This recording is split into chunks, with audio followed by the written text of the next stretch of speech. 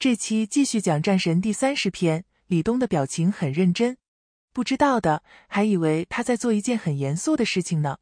但只有他自己知道，自己此时的心情到底有多么澎湃。林雨柔也忍不住咬着红唇，心情紧张而害羞。这并不是李东第一次碰她的身子，但是在这样的环境下却是第一次。只不过林雨柔有些疑惑，这家伙怎么看起来这么严肃？难道他真的是在认真帮自己量腿长？四扎。这时，李东已经量过林雨柔的膝盖位置了，并且还要继续往上的样子。林雨柔娇躯一震，忽然有些后悔了。哎呀，自己怎么会同意让他测量呀？他想抽回自己的腿，可是李东的手似乎不肯放开啊！李东，林雨柔赶紧喊道：“怎么了？”李东立刻停了下来，抬起头，一脸疑惑：“你数到第几扎了？”林雨柔想说别凉了，但到口的话却变成了这句：“你一问，我给忘了。”李东直勾勾的盯着林雨柔，要不我再重新量一次？林雨柔脸色更红了，他正要说话，但李东却猛地一下子把他拉了过来，同时弯腰封住了他的嘴唇。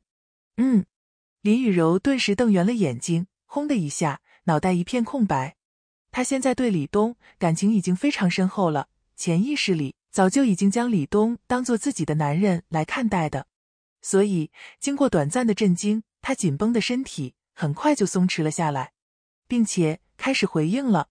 他开始动情了。李东心中大喜，正想进行下一步的动作，但就在这时，咚咚咚，一阵敲门声响了起来。听到敲门声，林雨柔顿时回过神来，急忙推开了李东，将自己缩回了池子里，只露出半个脑袋。一脸紧张，什么事？林雨柔问道。李东抬头看了一眼，顿时有些恼火。曹是他吗？这个时候来打扰自己的好事。自从从上海回来，李东已经很久没有跟林雨柔这么亲密了。现在好不容易有个机会能跟林雨柔更加亲密，狗日的谁来打扰了自己的好事？没事，你安心泡温泉，我去看看。李东眼里压制着怒火，轻声道。林雨柔点了点头。脸上的绯红依旧没有散去。不可否认，他刚刚真的动情了。如果不是这突然的敲门声，估计他要被李东欺负的够呛。虽然不会发生那种事情，但该有的欺负还是要有的。娇羞的同时，林雨柔的心中还有一点小失落。女人的心思真的捉摸不透。李东披着浴巾走过去，打开了门，发现大头站在外面，顿时皱起了眉头。怎么了？按照李东对大头的了解，没有很重要的事情，他不会无缘无故来打扰自己的。有人找你，大头闷声道：“哪里？外面，让他等一下。”李东说着，重新关上门。大头点了点头，转身离开。李东走回去，将衣服穿上，一边对林雨柔道：“外面有人找我，我出去看看。你先在这里泡着，等会儿我就回来。”嗯，林雨柔乖巧点头。穿上衣服之后，李东推门走了出去。李先生，李先生，李东刚走出去，一个穿着西装革履、戴着眼镜的中年男人快步跑了过来。你是？李东打量着对方，他确定自己并不认识这个家伙，甚至在他的印象中，他们都不曾见过面。男人赶紧伸手到口袋里，摸出了名片夹，抽出一张名片递给李东。李东接过看了看，顿时饶有兴致的看着他：“你找我有什么事吗？我们老板想请你过去谈一谈。”男人赶紧道。说话的时候，指着不远处坐在一张太阳伞下的一个人。在官场上，不少秘书都习惯性称呼自己的上司为老板，因为这样可以方便在外面掩饰身份。比如电视剧里面，皇帝微服私访，都让身边的人称呼他为老板。显然，这个人说的老板就是不远处的那个人了。那行吧，李东点了点头。李先生，请。中年男人见状一喜，连忙指引着李东朝着那个人走去。李东走到不远处太阳伞那个人的对面，直接坐了下来。也是这时，李东才看到那个人的样子，中年模样，面相颇有威严。李先生，你好。那个中年男人原本微微闭着眼睛。感觉到有人来了，顿时睁开眼睛，看到李东，对李东伸出手：“你好。”李东伸手跟他握了一下。久闻李先生少年英雄，今日难得一见，名不虚传。这人即便称赞别人的时候，也板着一张脸，给人一种居高临下的不舒服感。当然，李东并不在意这些。我不认识你，你也不认识我，我们谈不上有什么交情。我的时间很宝贵，你的时间也很宝贵，所以有什么事情直接说吧。”李东淡淡道。在他看来，与其花费时间跟这个老东西在这里聊天，还不如回去跟林雨柔一起泡温泉呢。跟自己的女人一起泡温泉不香吗？听到李东的话，男人愣了一下。很多年了，没有人敢这样跟他说话。行，那我就直接开门见山了。中年男人点了点头。我叫韩潇，犬子韩立。你就是那个姓韩的父亲？李东故意装作很惊讶的问道。其实刚才通过那个秘书的名片，他就已经猜到这个人的身份了。是我，韩潇缓缓点头。不知道出于什么原因，犬子与林雨柔小姐发生了一些小小的不愉快。我知道林氏集团实际上是李先生在当家做主的。我希望李先生能跟林雨柔小姐说上几句好话，化干戈为玉帛。没等他说完，李东直接挥手打断了他。你儿子不仅仅是跟林雨柔发生了不愉快，我也跟他发生了一些不愉快。李东淡淡道：“还有这种不愉快，并不小。他逼我卖掉林氏集团名下的美容粉公司，我让他把你给卖了。现在看来，他也没有同意。”韩潇的额头上青筋直跳，有种想要将这个家伙丢进河里喂鱼的冲动。可恶，太可恶了！这个人竟然敢这样对自己说话。自从他爬上了这个位置之后，哪个人见了自己不是摆出一副尊敬顺从的嘴脸？就算是自己的上司以及自己的对手，在提到自己的时候，也不得不在“韩潇”这两个字的后面加上“同志”。这个年轻人凭什么这样跟自己说话？凭什么？就凭他是林氏集团的幕后老板。韩潇是久经大场面的人，氧气功夫是很强的。所以，他很快就平息了自己内心的怒火与暴戾之气。他目光带着威慑意味看着李东：“李先生，我知道这中间的确是存在一些误会，犬子所做的事情也确实伤害到了你们的感情。到时候我会摆酒设宴，让犬子亲自过来给你们道歉。摆酒设宴，酒钱谁来给？道歉，一句话而已，嘴上说着对不起，心里却在骂娘，这有什么意义？”李东不屑道。再说了，道歉这种东西好像也不值钱吧？你刚刚说的这些，前者是用公家的钱，后者不值钱，这样的道歉很没有诚意啊。那你想要什么？韩潇皱起了眉头，问道：“应该是问你能够赔偿我什么才对吧？”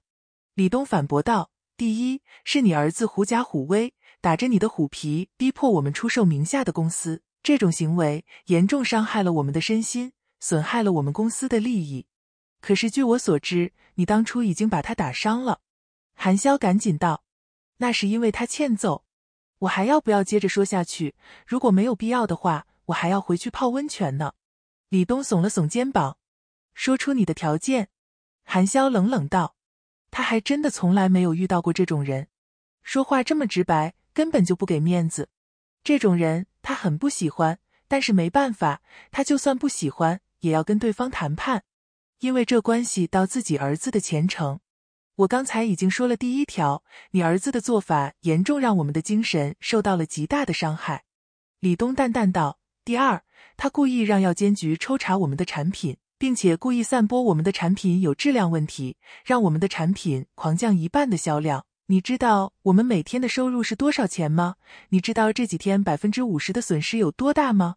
还有我们的公司形象。”也因此受到了玷污，产品的美誉度受到了严重的破坏。我们需要维护公司形象，重新塑造产品的美誉度。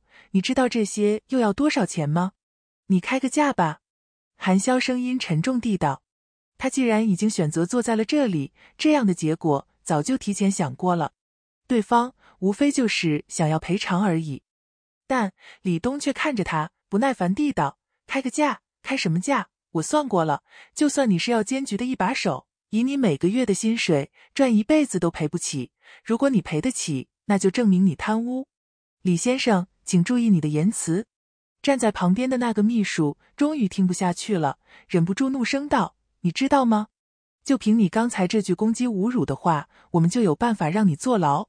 你要是不让我坐牢，你就是我孙子。”李东冷笑道。但说完，他心里有些后悔，立刻改口：“不是我孙子。你如果不让我去坐牢，你就是我家小区隔壁大妈养的那条哈士奇的孙子。他才不要这么老的孙子呢。在他看来，要是自己孙子跟这小子一样是一个没有骨头的东西，干脆把他弄死算了。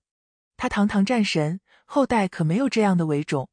你，那个秘书气得要死，脸上的肌肉一跳一跳的。”但是他却无可奈何，因为他的确没有办法让李东去坐牢，至少现在不能。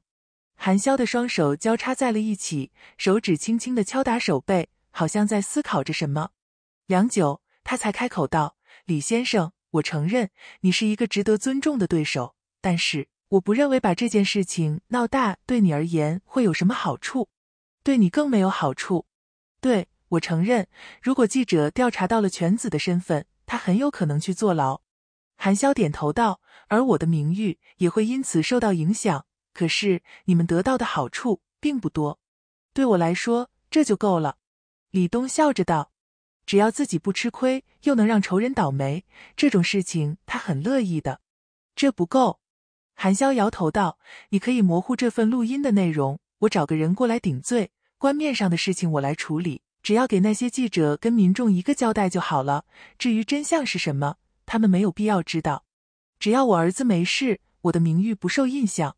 看到李东没说话，他继续道：“或许我没有办法赔偿你的经济损失，但是林氏集团属于药监局的管辖范围，也就是我的在管。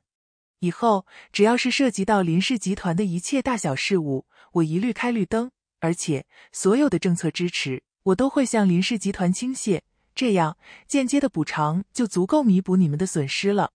如果有必要的话，我还愿意用官方的名义来帮你们恢复名誉。李东认真点了点头，说的不错，这的确是很不错的建议，考虑的很周到啊。难怪你儿子不肯把你给卖了。我要是有这么一个好爹，我也不卖。李先生，我是很认真在跟你洽谈，也请你认真一点。韩潇压抑着怒火道。好吧，李东笑了笑，认真道：“我还是不答应。”韩潇额头上的青筋再次狠狠的跳了跳，沉声问道：“你认为这样的条件还不够优惠？很优惠，那你为什么不答应？怎么，你想知道啊？是，我很想知道，非常迫切。”李东想了想，开口道：“也没有什么，我就是不想答应你。你耍我？”韩潇脸色越加阴沉，死死盯着李东。难道你真的要跟我拼个鱼死网破？鱼呢，绝对是死定了。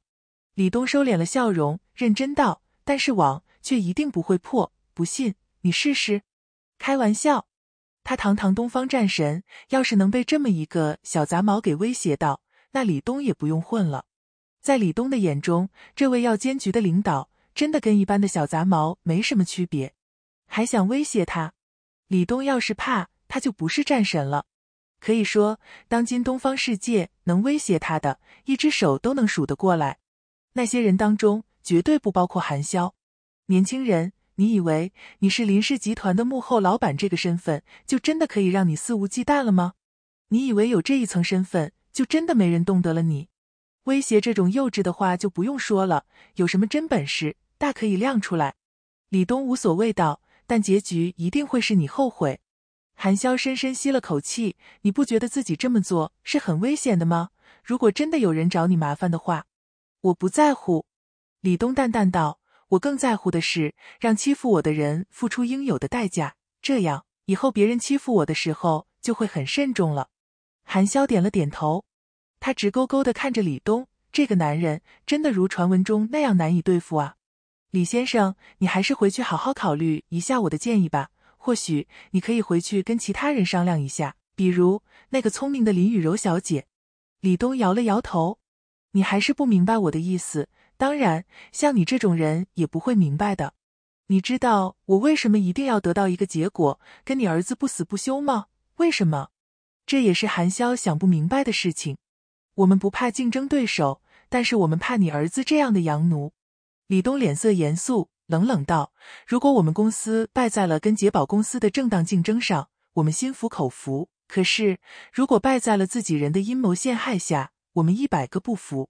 你们这些人的权利是谁赋予的？是我们。可是你儿子却拿着这种权利来帮助国外的公司来欺负打压我们，这种行为跟汉奸有什么区别？最重要的，他威胁我的女人，就这一点，我就要跟他不死不休。真诚的肺腑之言啊！韩潇感叹道。当然，李东耸了耸肩，所以我不可能放过他的。你还是不要浪费心机了，你还年轻，不知道屈服跟妥协。韩潇直视着李东。忽然笑了起来，以后必将受挫惨死是吗？那我等着那一天的到来。李东点了点头。这种威胁或许对别人有用，但对李东来说就是在开玩笑。好了，不跟你们扯淡了，老子要去泡温泉了。要不要我请你们也泡一下？李东看向韩潇，笑着道：“这里的服务还是挺不错的。”多谢，用不着。韩潇站了起来，直接招呼了秘书，朝着外面走去。一直来到外面的一辆奥迪车上，秘书才开口问道：“老板，接下来怎么办？剩下这么一个愚蠢的儿子，碰上这么一个难缠的对手，我能怎么办？”韩潇揉捏了一下额头，很是无奈道：“他想了想，最后开口：走，回省城，我要去拜访一下大领导。”等韩潇走后，李东迫不及待地朝着包间走去。刚才他给林雨柔用手测量她的腿长，可还没有完呢。当然要接着测量了，但是他走到门口的时候，大头却闪身出来，用手臂拦着李东。大哥，你不能进去。李东诧异的看着大头，为什么？林雨柔在里面泡温泉，他不能进去，那谁能进去？里面有人，我当然知道有人啊，雨柔在里面啊，你赶紧让开，小心老子抽你啊！李东阳怒道。这闷头小子竟然敢拦着自己不让进，林雨柔给他的勇气吗？大哥，你还是不要进去了，里面不只有林总，还有沈小姐他们也在的。大头闷声道。话落，李东身体微微一僵，他机械的转过身。什么？沈云他们在里面？既然是他们，那自然是除了沈云之外，他的经纪人青姐也在了。李东万万没想到，被那个韩潇叫去谈判了一会儿，里面已经没有他的位置了。是，大头点头。刚进去的林总还说让我不要让你进去，让你去其他地方泡，他要跟沈小姐他们聊天。李东满腔的热情就像是被一盆冷水直接被浇灭了。既然林雨柔跟沈云他们在里面，李东一个大男人自然不好进去了。他恋恋不舍的看了一眼门口，只好转身离开。这时，包间里面水雾缭绕，三个女人正围在一起叽叽喳喳。从盛海一别至今，林雨柔跟沈云已经半个多月没见面了。此时一见面就要说不完的话。青姐泡在旁边听着两人唠嗑，时不时的插嘴几句，气氛其乐融融。聊着聊着，话题就被转移到了美容粉事件上来了。那个姓韩的真不是个东西，这种事情都做得出来。要是在以前革命的时候，他就是汉奸。沈云一脸不念，没事。林雨柔一摆手，笑着道：“他的阴谋是不可能得逞的，这一次他应该要身败名裂了，那样最好。”沈云恶狠狠的道：“这种人就应该给他一个一生难忘的教训，否则的话，还不知道有多少人被他坑死呢。”沈云吃过太多那些豪门公子或者官二代的亏了，对于那些仗势欺人的狗东西，他是一点好感都没有的。在他们聊着这件事情的时候，网络上、电视上以及各大电台出现了一则火爆的新闻。这则新闻自然是有关于林氏集团遭遇阴谋陷害的事情了。林氏集团遭遇陷害，原来是国际巨头恶意收购，千防万防。家贼难防，林氏集团险丧自己人之手。录音门揭露惊天阴谋，林氏集团产品出现质量问题，竟是神秘人物背后操纵。一个个触目惊心的标题，一篇篇深度的报道，一句句讽刺，一字字直戳人心。美女老总林雨柔本来就是一个很能吸引观众眼球的素材点，在点缀上阴谋、陷害、录音门、神秘官员等字眼，一下子就引爆了网络。无数网民都在关注，关注那个幕后黑手的身份何时暴露。省城办公室里，大领导一直在埋头品茶，也不开口说话。这种安静的气氛已经足足持续十几分钟了。在大领导的对面坐着一个面相颇具威严的中年男人，但这个中年男人在大领导的面前还是非常拘谨的。他正是在巫山温泉跟李东交谈过的韩潇。领导，这件事情真的是一个误会啊！是捷宝大中华区的经理洪先生带队过来收购林氏集团的，我儿子只是被他们叫上一起，所以才会去林氏集团找林雨柔小姐商谈收购的事情。韩潇看到省城大领导一直都不开口说话，终于忍不住打破了沉默。大领导看都不看他一眼，依旧还在喝茶。无奈，韩潇继续道：“我儿子说的那番话的确是有些不妥当，但也只是年轻人的一些气话而已，当不得真的。我知道李先生曾经跟大领导您见过面，以您的身份，只要出面当这个和事佬，他肯定会愿意罢休的。你找李先生谈过了吗？”大领导忽然问道：“谈过了。”韩潇点了点头。这种事他没必要藏着掖着，也骗不了别人。说不定他约见李东的事情早就被有心人看在眼里了。那他是怎么说的？大领导问道。他还有些生气。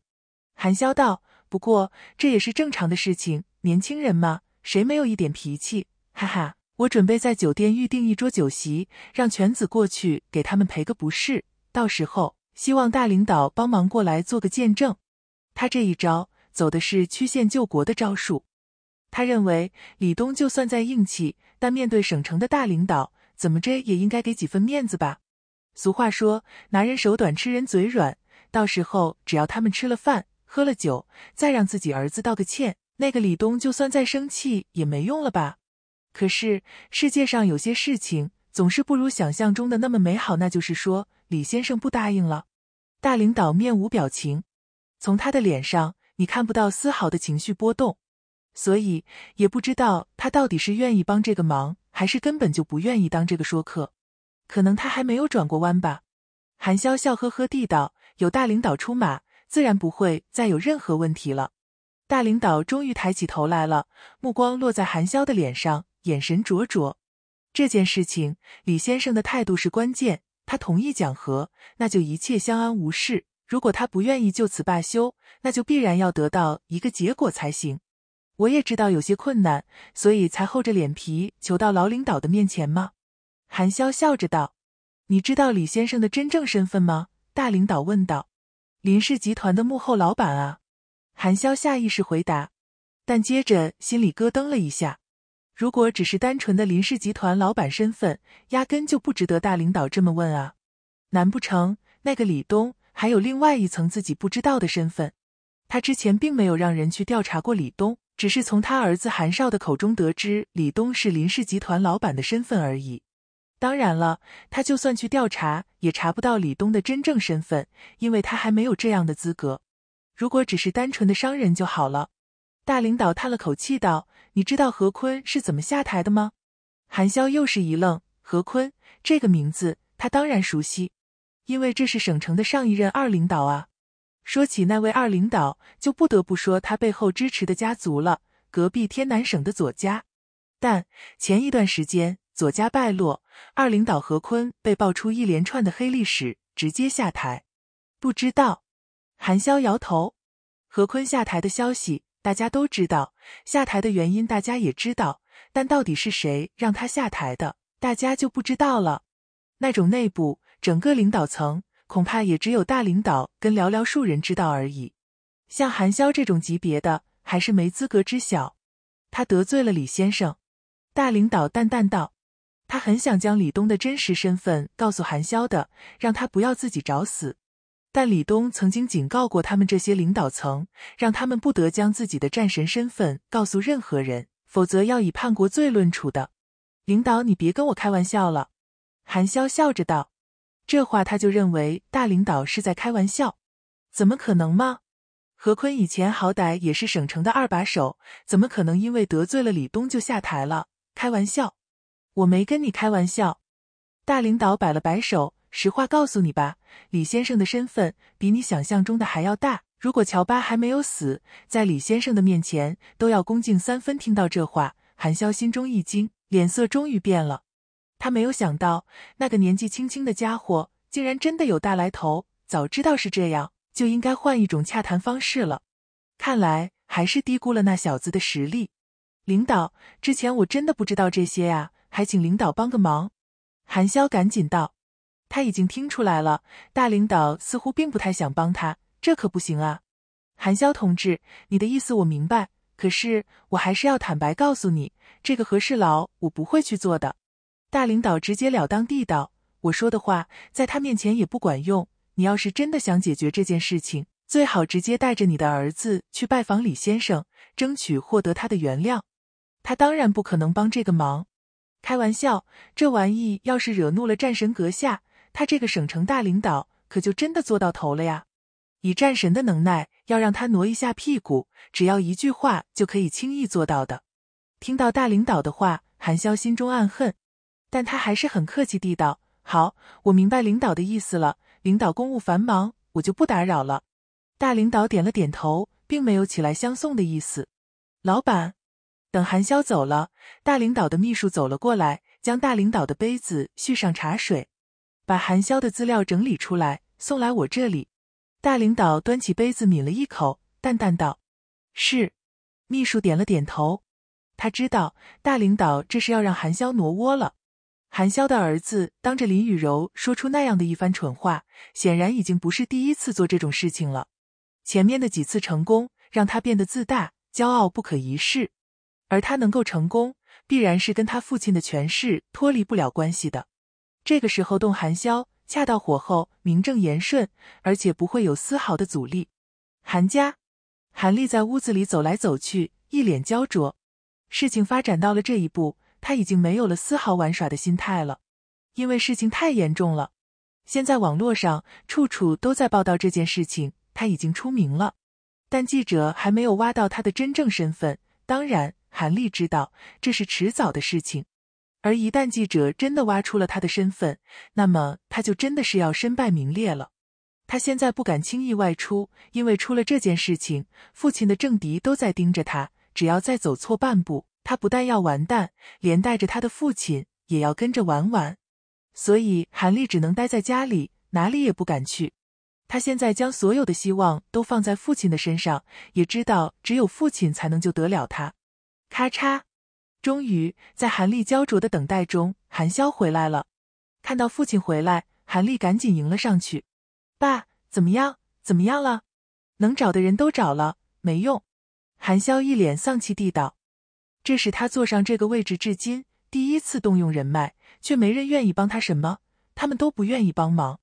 韩立生气道：“平时也没少得咱们家的孝敬啊，混账！”韩潇终于憋不住了，怒骂道：“如果不是你这么愚蠢，被人录了音，事情哪里会这么难办？现在人家手头上有你的关键证据，谁还愿意站出来帮你说话？到时候一旦媒体把你给爆料出来，谁身上不沾一身屎？”谁知道那个女人那么阴险？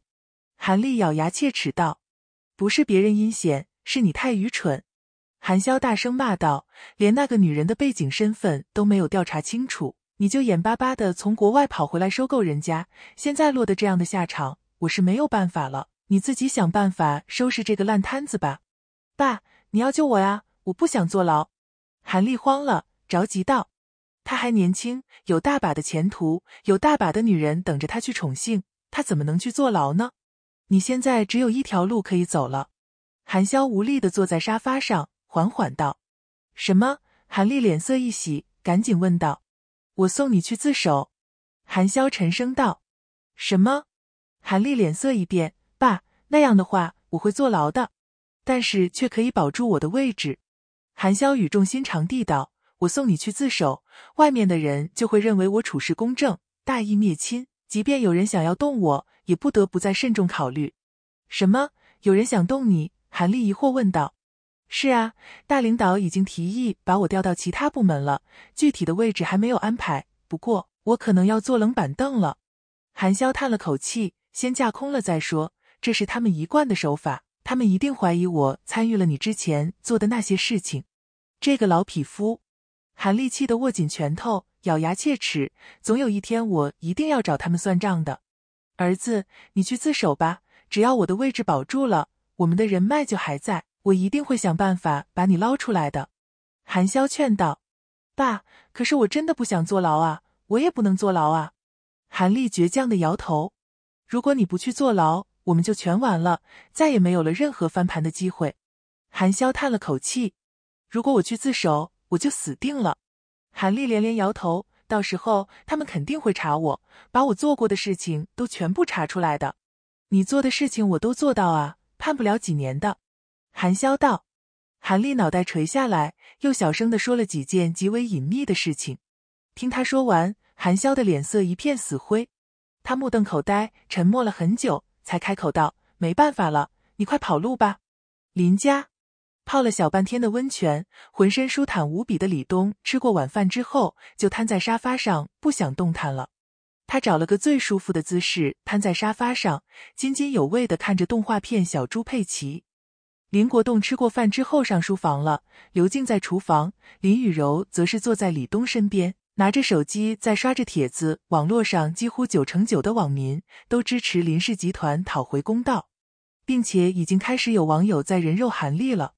毕竟，那种出卖民族企业利益的汉奸，大家都唾弃他，大家都很想知道那个幕后人到底是谁。那个家伙真的会受到法律的制裁吗？看着网络上支持林氏集团的话，林雨柔心情很好，但一想到那个家伙嚣张的样子，林雨柔还是有些担心。对方有一个好爹，她怕对方动用人脉，强行将这件事情的影响力打压下去。那样的话。虽然林氏集团依然可以受益，但林雨柔却不乐意接受那样的结局。在他看来，坏人就不能有好下场。放心吧，他该受到的制裁是跑不掉的，有我在，没人能帮得了他。李东轻笑道：“那个家伙的父亲，充其量只是要监局的一位领导而已。他已经明显表明了自己的态度，想必省城的那位大领导是不敢出面的。”不然的话，惹怒了李东，李东并不介意让省城真的换一位大领导的。只要省城的大领导不出面，就没人敢帮韩潇父子。唯一要防备的就是防止他们跑路。叮铃铃，这时李东的电话响了。李东拿起来接通了。大哥，如你所料，老鼠出洞了。对面传来了大头的声音。那就收网吧。李东淡淡道：“是。”跑。拼了命的跑，韩立已经打电话预定了一个小时之后飞往西方国家的机票。只要上了飞机，他就得救了。现在他的身份还没有曝光，哪怕他现在被无数人盯着，但只要他的父亲还身居高位，想要办一张到国外的机票，实在是太简单不过了。此时，韩立正在开车，拼了命的开车，他已经快要将油门踩到底了，车子发出愤怒的咆哮。一次次地加速，一次次地将前面的车子超越。韩立感受到危险正在朝着他逼近，每停留在这块土地上一秒，他就多一分危险。李东、林雨柔，你们这两个婊子，我一定会回来找你们的，我一定会让你们不得好死！韩立声嘶力竭地喊道。可是，在这通往机场的高速公路上，没有人听得到他的怒吼声。只有当两辆车穿棱而过时，对面的司机会看到他扭曲狰狞的面孔。韩立做梦都没有想到自己会有这么一天，如同丧家之犬那么狼狈。同时，嗖嗖，大头的双手快速转动着方向盘。他所驾驶的这辆车子，并不是经常开着的那辆劳斯莱斯，而是一辆寻常的奥迪 A 四。这辆车虽然动力上比不上对方的奔驰车。但是大头驾驶着这辆车在公路上却非常灵活，凭借着技术不断的超越一辆又一辆的车子，将他们远远的甩在后面。或者后面的司机在咒骂，但是谁在乎呢？很快，大头的视线终于开阔了起来，他看到前面有辆奔驰轿车，正如同一条疯狗一样狂奔着，而那辆车正是他的目标。大头猛地踩下油门，车子像是被人从后面踹了一脚似的。猛地抬头了一下，跑得更快了。他要将前面的那辆车拦截下来，赶在对方到达机场之前。前面的车子显然发现了后面的异样，也开始加速了。这个时候，车子的性能就发挥到了极致。那辆奔驰车的提速能力明显要比大头开着的这辆奥迪强很多，但大头的驾驶技术却明显要比韩立的好很多。他躲避障碍物的能力以及超车弧度所使用的时间是明显要胜于韩立的。于是双方的距离正在一点点拉近，眼看着两辆快速行驶的车子即将并排在了一起，但这时大头却猛地一转方向，瞄准了奔驰车的屁股，狠狠地撞了上去。砰！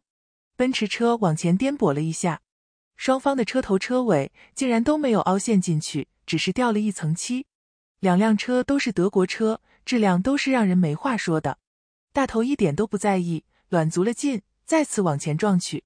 不过这一次他可不是直接撞车尾中间了，而是对准了奔驰车屁股的左边角。这样一来，奔驰车的车头就只能往右边倾斜。嘎吱！只见奔驰车的车头打横，然后直直的撞向了路边的栏杆。韩立惊慌不已。他一边狂打方向盘，想要将车头调转回去，一边重重的踩下油门。砰！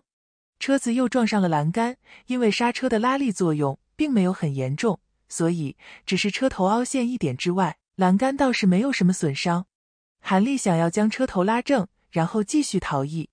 毕竟现在他是在逃跑，可不是追究对方追尾自己车子的时候啊。但这时，他却发现一个身穿黑色西装的年轻人站在了自己的车门边上。这个人就像是鬼魅一样出现，顿时把韩立吓得不轻。你是谁？你想干什么？现在他有种草木皆兵的感觉，总觉得所有出现的人都是他的敌人。下来，上那辆车，坐到副驾驶去。大头指着那辆奥迪车，声音平静。他表情有些木讷，神色呆滞。看起来像是一个人形木偶一样。你谁呀？你是警察？出示你的证件给我看看。韩立没有下车，而是大声喊道：“他想要拖延一点时间，路过的司机看到这边发生事故，一定会下来查看的。到时候他就可以借机逃跑了。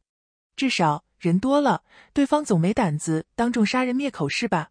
但很可惜，他遇到的人是大头。”看到韩立不下来，竟然还唧唧歪歪的，大头皱起了眉头，瞬间失去了耐心。他的右手忽然间从车窗伸了进去，一把掐住了韩立的脖子，稍微用力，这位公子哥就软倒在了座椅上。大头打开车门，然后将韩立提了起来，像是提着一只小鸡。他打开奥迪的后座车门，将韩立丢了进去，然后上车启动车子，扬长而去。车上，大头一只手掌控方向盘，另外一只手拿出手机，拨通了一个号码。老鼠已落网，随便找个地方关起来，等时机成熟了，再将它藏匿的地点提供给警察跟媒体。话筒里传来一道声音：“是。”大头挂断了电话。林氏集团，这一日来了几位贵客。林总，你好，这一位是捷宝公司的高级副总裁谢尔顿先生。这位是亚洲大中华区域新上任的产品经理张红，因为身穿黑色职业套装，看起来斯文高雅的女人一脸笑意的为林雨柔介绍着。关于前任亚洲大中华区域红经理，由于他做出了违背公司原则和正当商业竞争的事情，已经被总部辞退了。还有韩立先生，他同样也已经被总部辞退。在我来之前，总部刚刚下达撤销洪经理亚洲大中华区域产品经理职位。高高瘦瘦、长得一个大鼻子的谢尔顿笑着跟林雨柔打招呼。还有总部的露西，也因为监督不力的原因被公司降职。林总，请你相信捷宝公司道歉的诚意。我们实在是没想到会发生这样的事情。他们这种恶劣的行为，并不代表捷宝公司的真实意愿。我们只是受命让他们来谈判而已。却不清楚他们会做出这种没有职业道德的事情。是啊，林总，我们知道这件事情之后也感到非常震惊。我们不相信捷宝公司里竟然会有这样的无耻之徒。新上任的产品经理张红也赶紧道：“我一知道这件事情之后，立刻就向总公司汇报了这件事情。总公司高度重视。希尔顿先生连夜乘坐飞机过来与您见面。恕我冒昧。”林雨柔翘着二郎腿。身体弯曲成一个优美的弧度，他微笑看着众人，缓缓道：“我就是想知道一个答案。如果那位洪经理真的依靠这种方法收购了我们公司，你们会不会给他升职加薪？”谢尔顿跟张红两人面面相觑，过了好一会儿，还是谢尔顿回答了这个问题。我想他一定不会让我们知道他收购贵公司用的方法。所以，如果他立下了这么大的功劳，根据公司的奖惩制度，我们会给他升职加薪作为奖励的。是啊，自古以来成败论英雄。林雨柔笑着道：“如果公司垮了，你们会来给我赔礼道歉吗？现在那一份录音曝光了，你们的恶行被世人所知。为了挽救公司的形象，所以你们出现在这里。你们在企业，但我也是。你们有立场，我同样也有。你们觉得？”我会就这样接受你们的道歉吗？那样的话，是不是显得我一个女人太好欺负了？听到这话，希尔顿跟张红又对视了一眼。希尔顿对张红打了一个眼色，张红立刻会以他从口袋里面拿出了一张支票，递给林雨柔。我们也考虑到这一次的误会给贵公司带来了很大的伤害损失，这是我们的一点点补偿，希望林总能够接受我们的歉意。林雨柔将支票接过来看了看。笑着道：“不愧是世界第一大的日用品公司，果然财大气粗。还请林总能够原谅我。原谅。”林雨柔点了点头。我可以相信你们不知道这一次的恶意收购事件。谢谢。张红大喜。那能不能请林总帮忙发布一个声明，声明林氏集团跟捷宝公司是良好的合作与竞争关系？相信捷宝公司是不可能做这种事情的。抱歉，我不能。林雨柔直接摇头，没有丝毫犹豫。为什么？希尔顿跟张红同时问道。这个女人变化也太快了吧！我可以欺骗自己，但是我不能站出来欺骗消费者。林雨柔认真道。他怎么可能同意对方的这个要求？如果他真的答应了，那他就是最大的傻瓜了。毕竟，到时候这个声明一出来，国内的百姓会如何看待林氏集团？他们会认为林氏集团为了金钱，不惜跟国外的公司同流合污，来欺骗他们的感情。这样的企业是活不长久的，因为失去了民心。林雨柔当然不可能傻乎乎做这种事。张红心里想：你相信有什么用？重要的是消费者相信才行啊！这一次的谈判就这么不欢而散了。这次的事件依旧还在网络上发酵着。所有的记者都动员了起来，还有很多热心的网友，他们都在追查那份录音的幕后者是谁，但这几天以来却都没能将其揪出来。一直到了这一天，这天下午，国内最大的一个八卦论坛上，有个昵称叫做“小鸡吃老鹰”的网友发布了一篇帖子，神秘人物身份曝光，疑是某部门一把手之子。这个帖子以人肉搜索的方式对神秘人物的姓氏、声音、身后隐藏的能量等内容进行分析，有理有据的揭露了事件当事人的幕后身份。这一篇帖子一出现，立刻就引起了广泛关注，一个小时之内点击率过十万，回复率过万，并且被纷纷转载。一时间，网友们将林氏集团的幕后黑手推向了风口浪尖，而帖子最后指向的目标。就是韩潇父子两人，一旦激起千层浪，当各大网站轮胎纷纷转载，甚至连一些新闻评论节目也开始引用报道之后，这件事情就成为了社会的热点。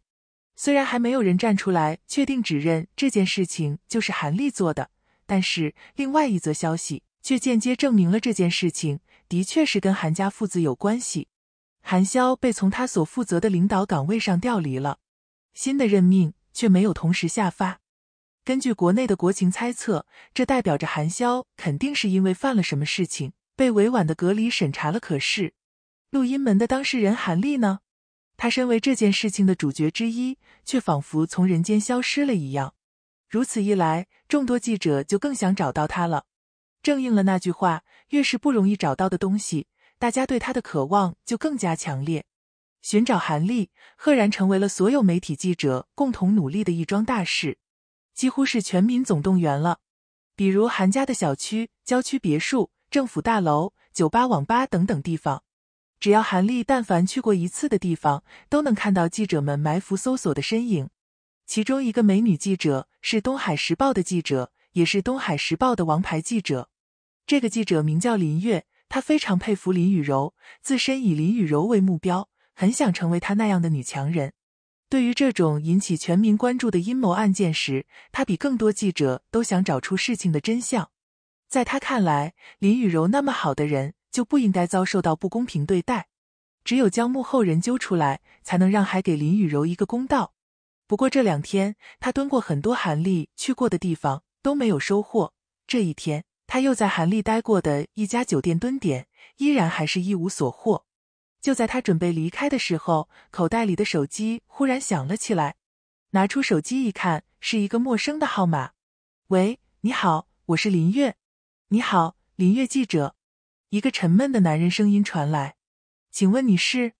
林月轻声笑道，语气并不夸张，却恰到好处的让对方感觉到小心翼翼的探寻对方的底细。“你不用知道我是谁。”对面的那个男人很没有礼貌的样子。“我打电话给你是要爆料。”“哦，那你想告诉我什么？”林月问道。对于这种不肯告诉自己身份的爆料人士，他接到过很多这种电话，并不意外。我知道韩丽隐藏的地点在哪里，男人淡淡道。听到这话，林月心中狂喜，但是他没有表现出来，问道：“他在什么地方？记下这个地址。”男人声音闷闷道：“昌林街道一百一十九号。”好的，我记下来了。请问，林月记下地址，正想再问几句。但对方却直接挂断了电话，真是一个奇怪的人。林月看着手机，微微皱眉。一般而言，打电话给他爆料的都会索要一定的报酬，但这个男人爆了这么大的料，却直接挂断电话，这还是他第一次遇到。不过林月很快就不在意了，他飞快在手机里找到一个号码，拨打了出去。找到了，我知道韩丽的藏身之处了。昌林街道是东海的一条老街。离市中心比较远，交通也不太方便。可是这里却是一些外来务工者最喜欢居住的地方。只有一个原因，这里的房租相对要便宜很多。一百一十九号是一栋独立的小宅院，有着高大的院墙和一道朱漆木门。只是这门看起来有些年头了，上面的红漆已经开始掉落，露出了里面就将腐朽的木头。谁也没有想到，一个人见人怕的官二代。会躲在这种地方，是这里吧？东海市公安局刑侦支队的刘队长开口问道。从地址上来看，是这里没错了。林月记者点了点头。他得到了消息之后，除了通知自己的同事之外，自然要通知警察了。毕竟现在韩丽可是一桩案件的嫌疑人，只要抓拿归案的，不能破门而入，避免打草惊蛇。刘队长对一个警察道：“这门是老的。”是从里面插上的，我们把它给拨开就成了。阿明，你擅长这个，你来。叫阿明的警察过来，从怀里取出了一把小刀。他将小刀从门缝里伸进去，轻轻的就将门插给拔掉了。上，刘队长一声命令，推开大门，一马当先的冲了进去。其他几个下属赶紧跟上去，手里拿着话筒，还有扛着摄影机的几个记者也跟在后面，保持一个安全的距离。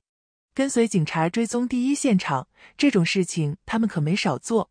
可是当他们跑进屋子里之后，全部都停了下来，因为他们这些天要找的人，也就是韩丽，就在客厅当中。可是并没有想象中，韩丽见了警察和记者的那种惊慌失措，更没有痛哭流涕，因为韩丽已经躺在客厅的沙发上睡着了。她头发凌乱，胡须拉碴，满脸憔悴的样子，看起来。他真的很累了，这么多人的脚步声竟然都没能让他醒过来。林月赶紧示意摄影师将镜头对准了韩丽熟睡的脸，给他来一个犯罪分子惶恐不安的特写。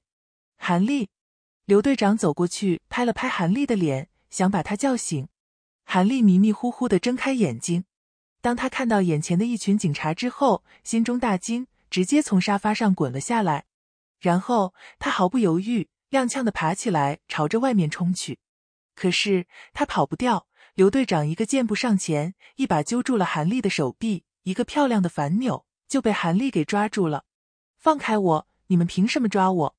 我是被人绑架到这里的。你们不去捉拿凶手，抓我干什么？放开我！你们知道我爸是谁吗？韩立大声喊叫着。他英俊的公子哥形象早已不复存在，只剩下一个没有灵魂的罪恶之徒。摄影机对准了这一切，而林月已经开始举着话筒，开始了他的现场报道。巷子口有一辆黑色的奥迪 A 八停在那里，李东从车窗看到警察跟记者都冲进去之后，对大头道：“好了，我们走吧，他逃不掉了，别让那些记者拍到了。”之所以没有开那辆劳斯莱斯出来，是因为那辆车很多人都知道是林雨柔的座驾，而这辆奥迪 A 八，李东还没有开出来过，没有人认识这辆车的。听到李东的话，大头点了点头，无声的发动了车子。这件事情到此为止了。林氏集团因此收获了大量的名声以及粉丝，同时药监局就美容粉的检测报告也出来了。正如大家所想，里面的成分没有对人体有害的，相反，长期使用对人体还有益。这样的检测报告公开之后，更多人疯狂了，美容粉的销量再攀新高。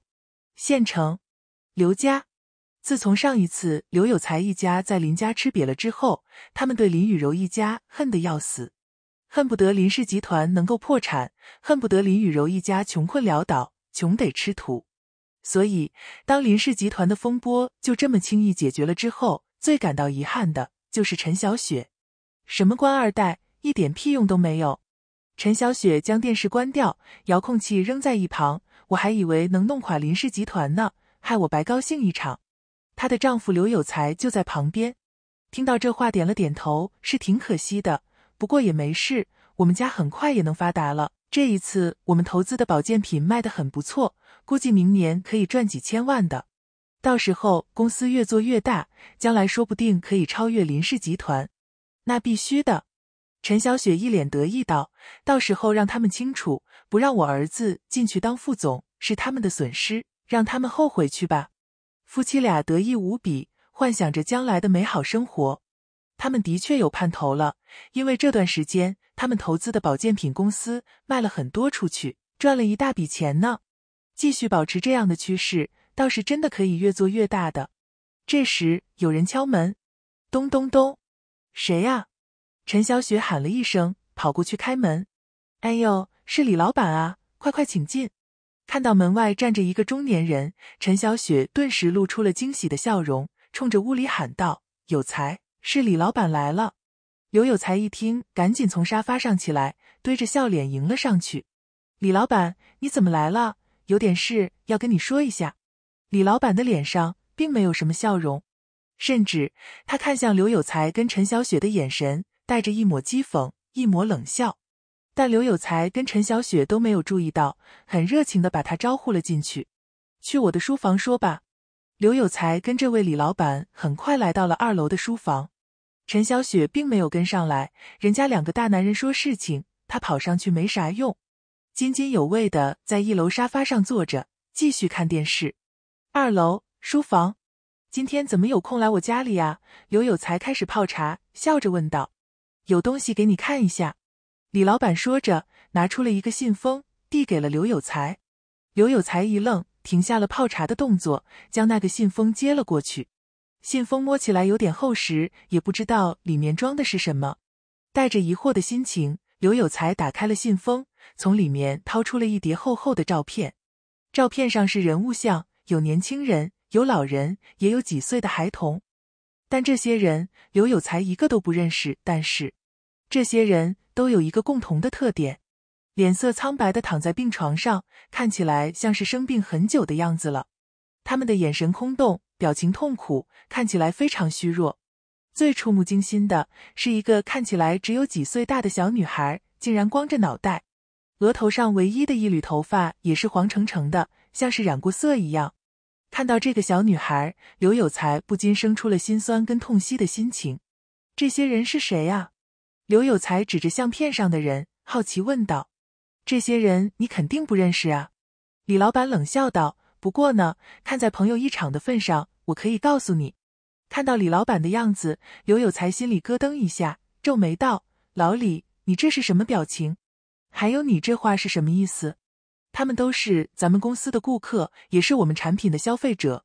这么说，你能明白吗？”李老板淡淡道：“轰。”这句话像是一道雷劈在了刘有才的心中，他整个人都呆滞了。什么？这些都是他投资的保健品公司的客户，之所以变成这样，是因为吃了他们公司的保健品。李老板脸色平静，他很满意刘有才的表情变化。你看，这个老太太已经七十岁了，吃了我们的产品之后，已经病倒在床半个多月了。还有这个小女孩才六岁呢。李老板指着那些照片，带着微笑地道：“这个小女孩叫做李珊珊，我去过他们家几次了，多可爱的一个孩子啊！可惜现在连出去见到太阳都不行，风一吹，那头发就嗖嗖的往下掉，可怜啊！才六岁的孩子，这辈子就这么完了。”李老板，你肯定是在跟我开玩笑，对不对？刘有才压根就不相信这个事实。刚才还好好的呀，怎么一下子就发生了这种事情？我也希望是玩笑啊。李老板叹了口气，这小女孩的父母都是小学老师，他年纪这么小，出了这样的事情，当父母的心里该有多难过啊！原来他们要把我们公司告上法庭的，可是我去做了他们的思想工作，我对他们说。你看，孩子现在都这样了，我们只能想尽一切办法尽力挽救。现在我们老板还是愿意负责任的，也愿意掏钱给孩子治病。如果你把我们高倒了，你们的孩子怎么办？谁来给钱治病？李老板看着刘有才，笑着道：“老刘啊，你看我跟你这么多年的朋友，跟你感情深厚，是不愿意看到你受到伤害的呀。你什么意思？这到底是怎么回事？跟我有什么关系？”刘有才炸毛了，他豁然站了起来，一脸愤怒：“老刘，你这话说的就没意思了。咱们公司你才是法人代表，公司持有人也是你的名字啊。”李老板装作很痛心的样子：“这些合同都是你签署批准的，怎么能跟你没关系呢？我签署的，我什么时候让你签署过这样的批文？不可能，我怎么不记得？”刘有才一脸茫然，李老板没说话。他摇了摇头，从拿来的公文包里掏出了一叠资料，一份份的掀开到最后的署名部分。你看看这些签名，上面写的可都是你刘有才的名字，还有这笔记，就算你找世界上最权威的专家，也会认定是你写的。再说了，如果没有你这些签名，我能让工厂生产那些产品吗？如果没有你的签名，我能拿到产品合格证书吗？刘有才听着这些话，双眼赤红了。他死死盯着李老板，说话的声音都在颤抖。姓李的，枉我这么多年把你当兄弟看待，你竟然这样对我！M，他终于想起来了，这些合同是他有一次跟这位李老板喝酒的时候签署的。那时候刘有才心情大好，因为当时产品大卖，一下子赚了上百万，就多喝了几杯。没想到那个时候，这位李老板趁他喝多了，就拿了这些文件让他签署。如果不是现在看到，他都忘记这件事情了。先不要生气啊，李老板解释道：“发生这样的事情，谁都不愿意看到。之前我也想把产品推出去，好好的赚上一笔，毕竟这是咱们兄弟之间的事业呀。可是既然事情已经发生了，那我们也要负责，是吧？产品如果有质量问题，那怎么拿到合格证的？为什么不多做一段时间的效果测试？”刘有才压抑着怒火问道。当然是靠你的关系呀，李老板认真道：“你们家的亲戚，也就是林氏集团的美女总经理，是你的外甥女，她男朋友很有来头的。我拿着你的签名合同给他们看，谁不给一点面子？再说产品的检测也是很严格的，但最后还是出现问题，只能怪我们命运不济了。命运不济这样的借口你都说得出来？那些受害者怎么办？他们是什么？自认倒霉？”为什么别人做没事，你做就会出现这种问题？刘有才怒道：“这件事情要是处理不妥当，我们都要玩完。你这么说就不对了。这是你的公司，我只是一个打工的。如果当初你把公司写上我的名字，这个时候我也不会找你了，对不对？”李老板淡淡道：“我可警告你，现在我虽然用钱堵住了那些受害者们的嘴，但是我如果去告诉他们你不愿意为这件事情负责。”那样的话，他们会做出什么样的事情，我就不知道了。你到底想怎样？刘有才冷静下来了。这个时候，他必须要跟这个家伙谈谈条件了。他万万没想到，自己这么信任的兄弟，竟然给他来了这么一手。这件事情要是被媒体曝光，不但他们一家三个要完蛋，连带着刘家的其他产业，恐怕也要被查封，最终就连林氏集团也会受到巨大的名誉影响。不得不说，李老板这一招实在是太狠了。其实我也不是那么不讲情面的人，无论如何，我们都是这么多年的好朋友，是吧？李老板要过来搂刘有才的肩膀，但被他一巴掌给打开了。我们终究兄弟一场，也不能看你坐牢是吧？如果你能帮我拿到林氏集团美容粉的配方，我就将这一切都销毁，把你的亲密签名资料都还给你，怎么样？李老板笑着道。这一刻，刘有才终于明白了，原来李老板之所以跟他一起合作，现在用这样的事情来威胁他，是想要林氏集团美容粉的配方。就算你这么做，我也帮不了你。刘有才喃喃道。我们家跟林家已经划清界限了，林家是不可能为了我把美容粉的配方给你的。你这话说的，我就不认同了。李老板笑着道：“你跟林氏集团董事长的妻子是亲兄妹，打断骨头连着筋呢，他们肯定不会眼睁睁见死不救的。你为什么要这么对我呀？”刘有才愤怒道：“我们认识这么多年了，我把你当亲兄弟来看，你为什么要坑我呀？我也不想的呀。”李老板叹了口气，但北方那边有人要我这么做，我不得不做呀。现在事情已经发生了，没有回头箭了。你好好考虑一下吧。林氏集团现在家大业大的，一份美容产品的配方而已，对他们来说算不了什么。你也别想着掀桌子。林氏集团虽然家大业大，我这种小人物惹不起，但是你也不要逼我鱼死网破。就算你不为自己想，也要为你儿子想一下呀。他还那么年轻，要是因为这件事情去坐牢，那后半辈子可就没了哦。好了，我有事情先走了，你拿到美容粉的配方再给我打电话，我们互相交换。说完，他对刘有才笑了笑，拿着公文包离开了。当房间门传来砰的一声之后，刘有才无力的跌坐在椅子上。怎么办？很快，房间门被打开，陈小雪走了进来。李老板怎么这么快就走了？他这次来说什么了？是不是产品大卖了？你自己看吧。刘有才指着茶几上的那些照片，陈小雪一脸疑惑，拿着看了一会儿，皱起了眉头。咦，好恶心啊！干嘛让我看这种东西？刘有才苦笑，深深吸了口气，将事情的来龙去脉跟陈小雪说了一遍。等他说完，陈小雪整个人都惊呆了。不可能，怎么会？良久，陈小雪才发出尖叫：“李老板为什么要这么做？他为什么要这么对我们啊？他想要林氏集团美容粉的配方。”刘有才将李老板的目的说了出来。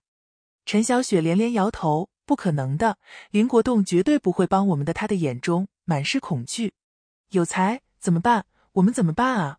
这件事情要是曝光出去，他们一家子算是彻底玩完了。一个弄不好，坐牢都是轻的了。这一刻，陈小雪的心中充满了恐惧。怎么办？怎么办？刘有才喃喃说着，最后他猛地站了起来。不行，这件事情我们自己搞不定的。去，我们现在去东海，只有林家才能救我们了。晚上，林雨柔跟李东还有林国栋下班回来了，他们说着笑推门走了进去。很快，说笑声就戛然而止。因为他们在客厅看到了两个他们最不想看到的人，刘有才跟陈小雪夫妇，他们竟然来了。看到李东他们回来，刘有才跟陈小雪赶紧从沙发上站了起来。你们来干什么？林国栋冷冷问道，一点好脸色都没有。上次陈小雪都说了两家划清界限，林国栋也没想着继续跟刘有才一家有联系了，就当没有这样的亲戚，却没想到。他们竟然会主动上门来，刘有才跟陈小雪有些讪讪的。上次他们的确把话说的太死了，现在面对林国栋太尴尬了。但是没办法呀，他们也不想面对，可是他们不得不来呀。他们家发生那样的事情，现在唯一的办法就是让林家帮他们了。国栋啊，上次呢是我们不对，我们不该那样。陈小雪脸皮比较厚，讪讪道：“你大人不计小人过。”就不要跟我们计较了。是啊，国栋，不管怎么说，我跟小静都是亲兄妹，打断骨头连着筋呢。之前的事情，我给你道个歉，你不要见怪了。刘有才也赶紧道。李东跟林雨柔对视一眼，都看到彼此眼中的疑惑。这夫妻俩什么时候变得这么好说话了？居然还会主动道歉？这太阳是从西方出来了吗？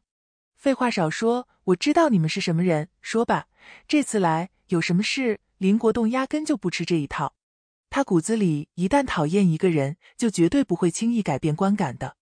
刘有才夫妇是什么样的人，他太清楚不过了。吴氏献殷勤，非奸即盗。是这样的，我们家遇到了一点麻烦，想请你帮个忙。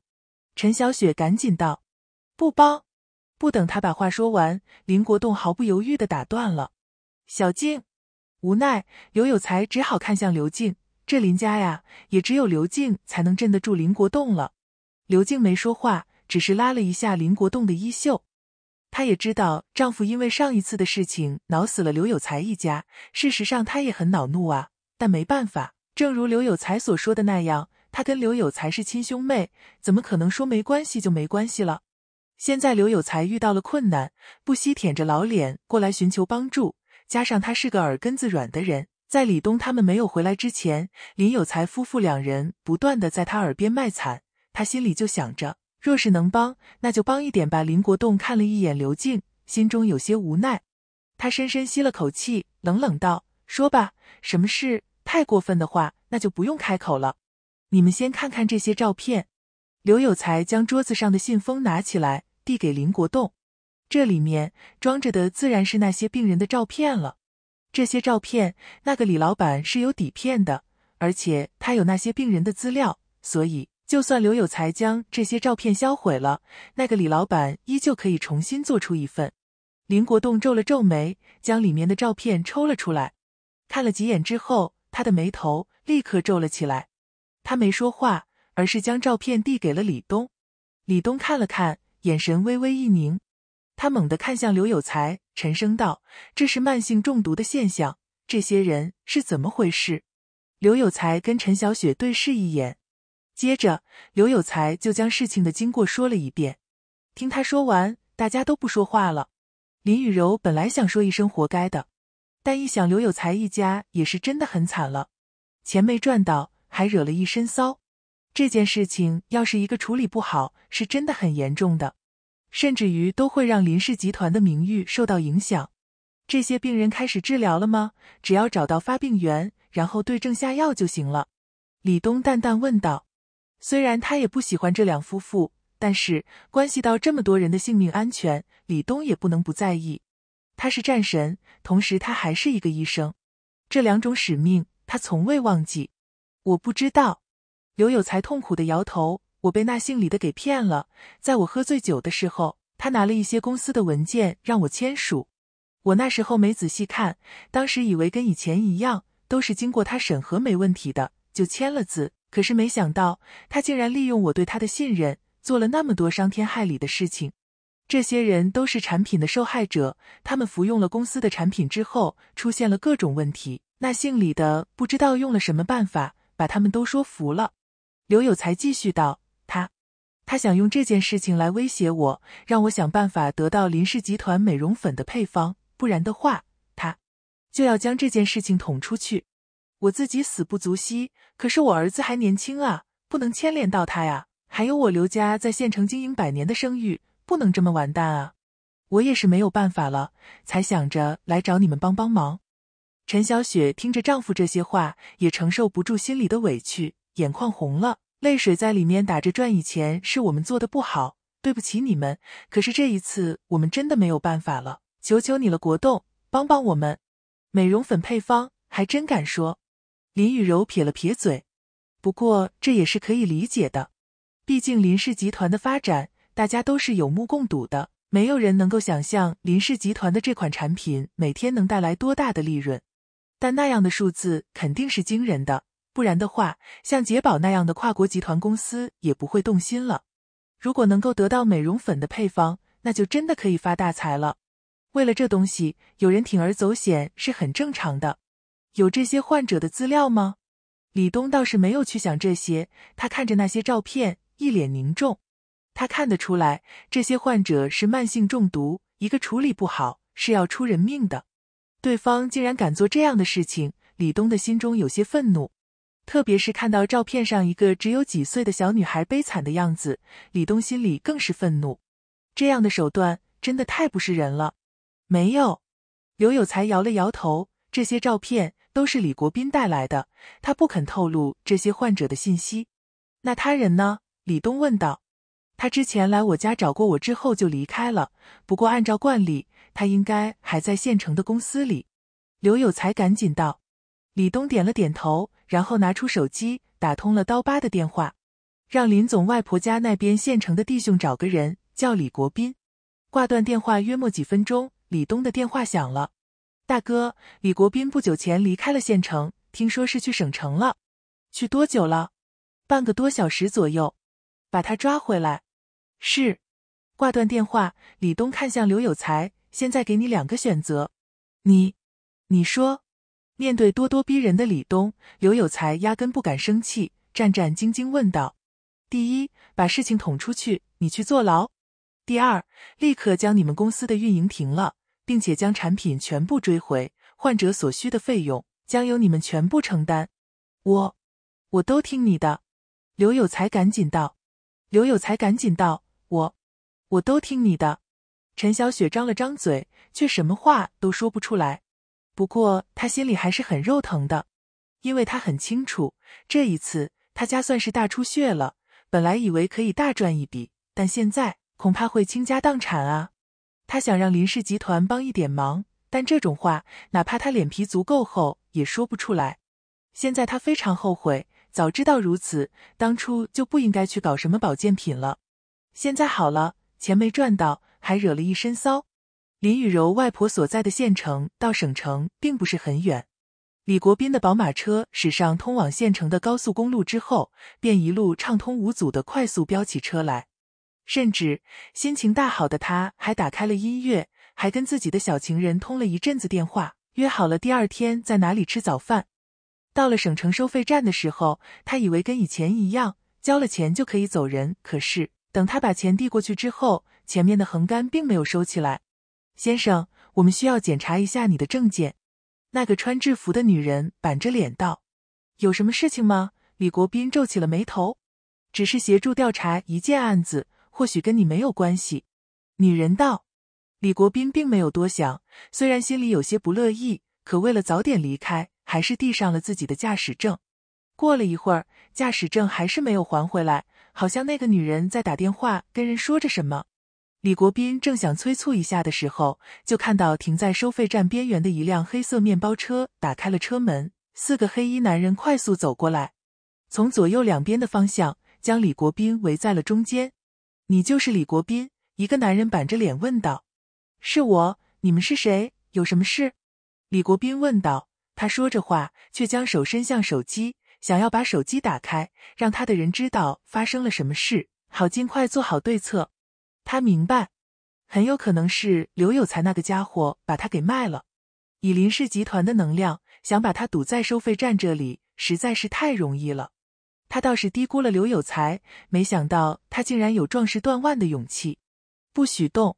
那个男人发现了李国斌的异样，从怀里摸出了手枪，对准了李国斌的脑袋。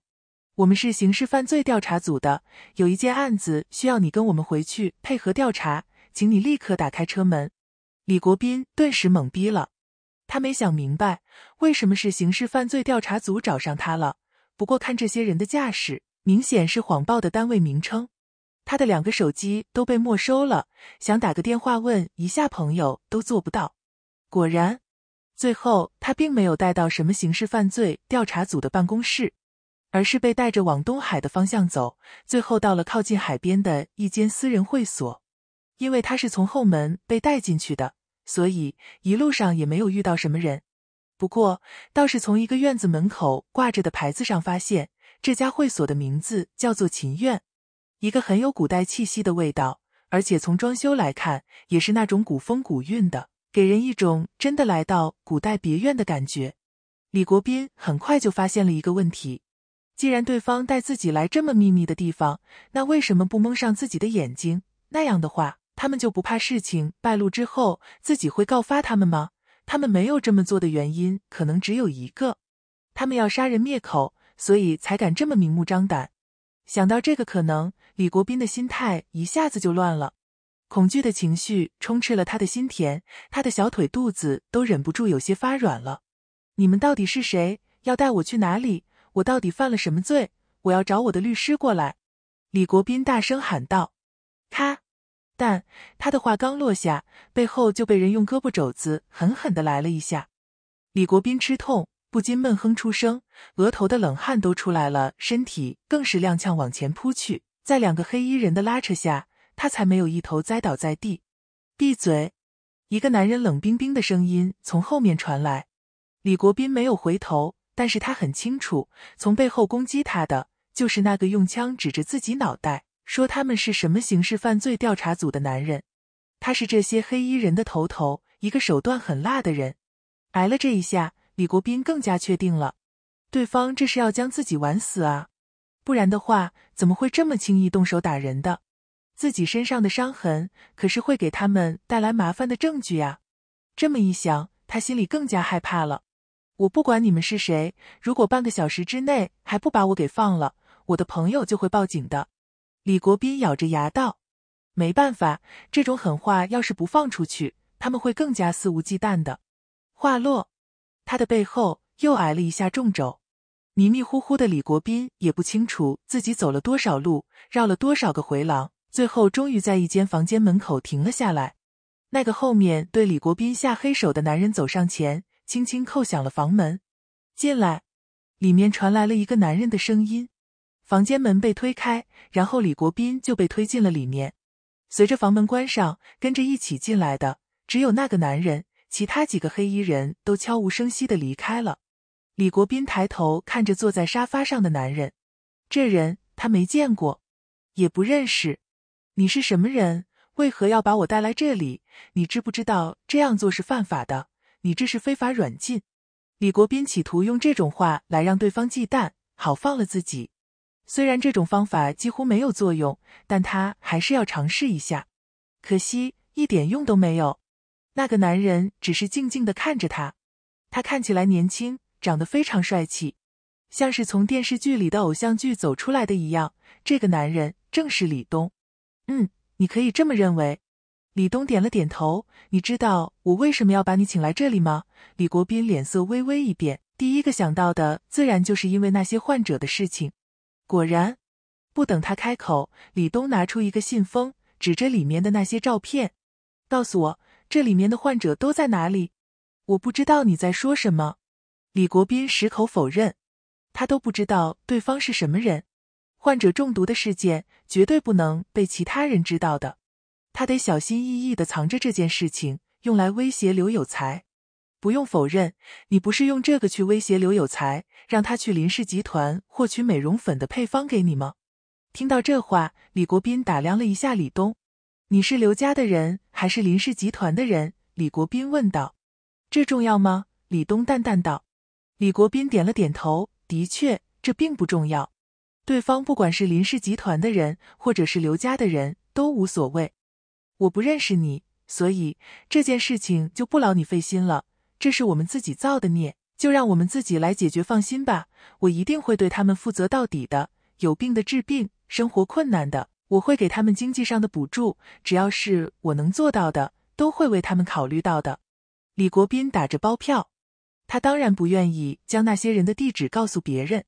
如果说了，到时候对方将患者全部转移走，他还用什么去威胁刘有才？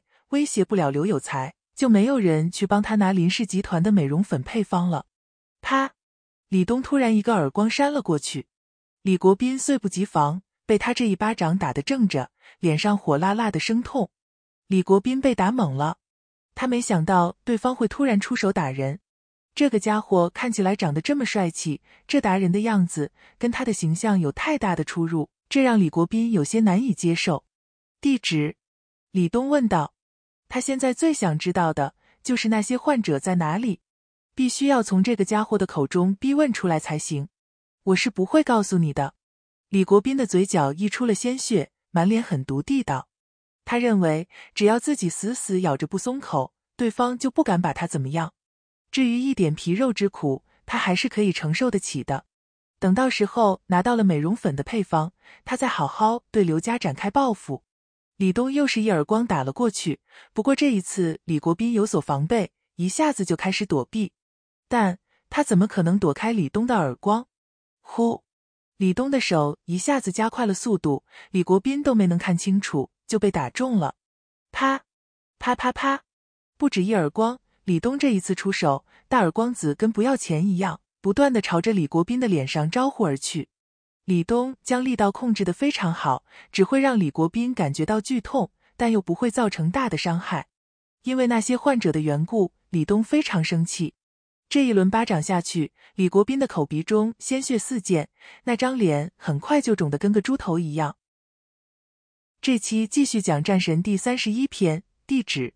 李东拿出纸巾擦拭了一下手，再次问道：“我是不会告诉你的，我的条件你应该已经知道了，拿美容粉的配方来换。”李国斌也算是个硬汉，这个时候他还想着跟李东谈条件。他知道成败在此一举，成功了以后财源滚滚，成为世界级的富豪也不是没有可能；如果失败，他就什么都没有了，甚至还会�淫荡入狱。你没资格跟我谈条件，李东淡淡道。还有，我现在可以明确告诉你，我不可能把美容粉的配方给你的。那我也可以很明确的告诉你，没有美容粉的配方，我死也不会告诉你那些患者的地址。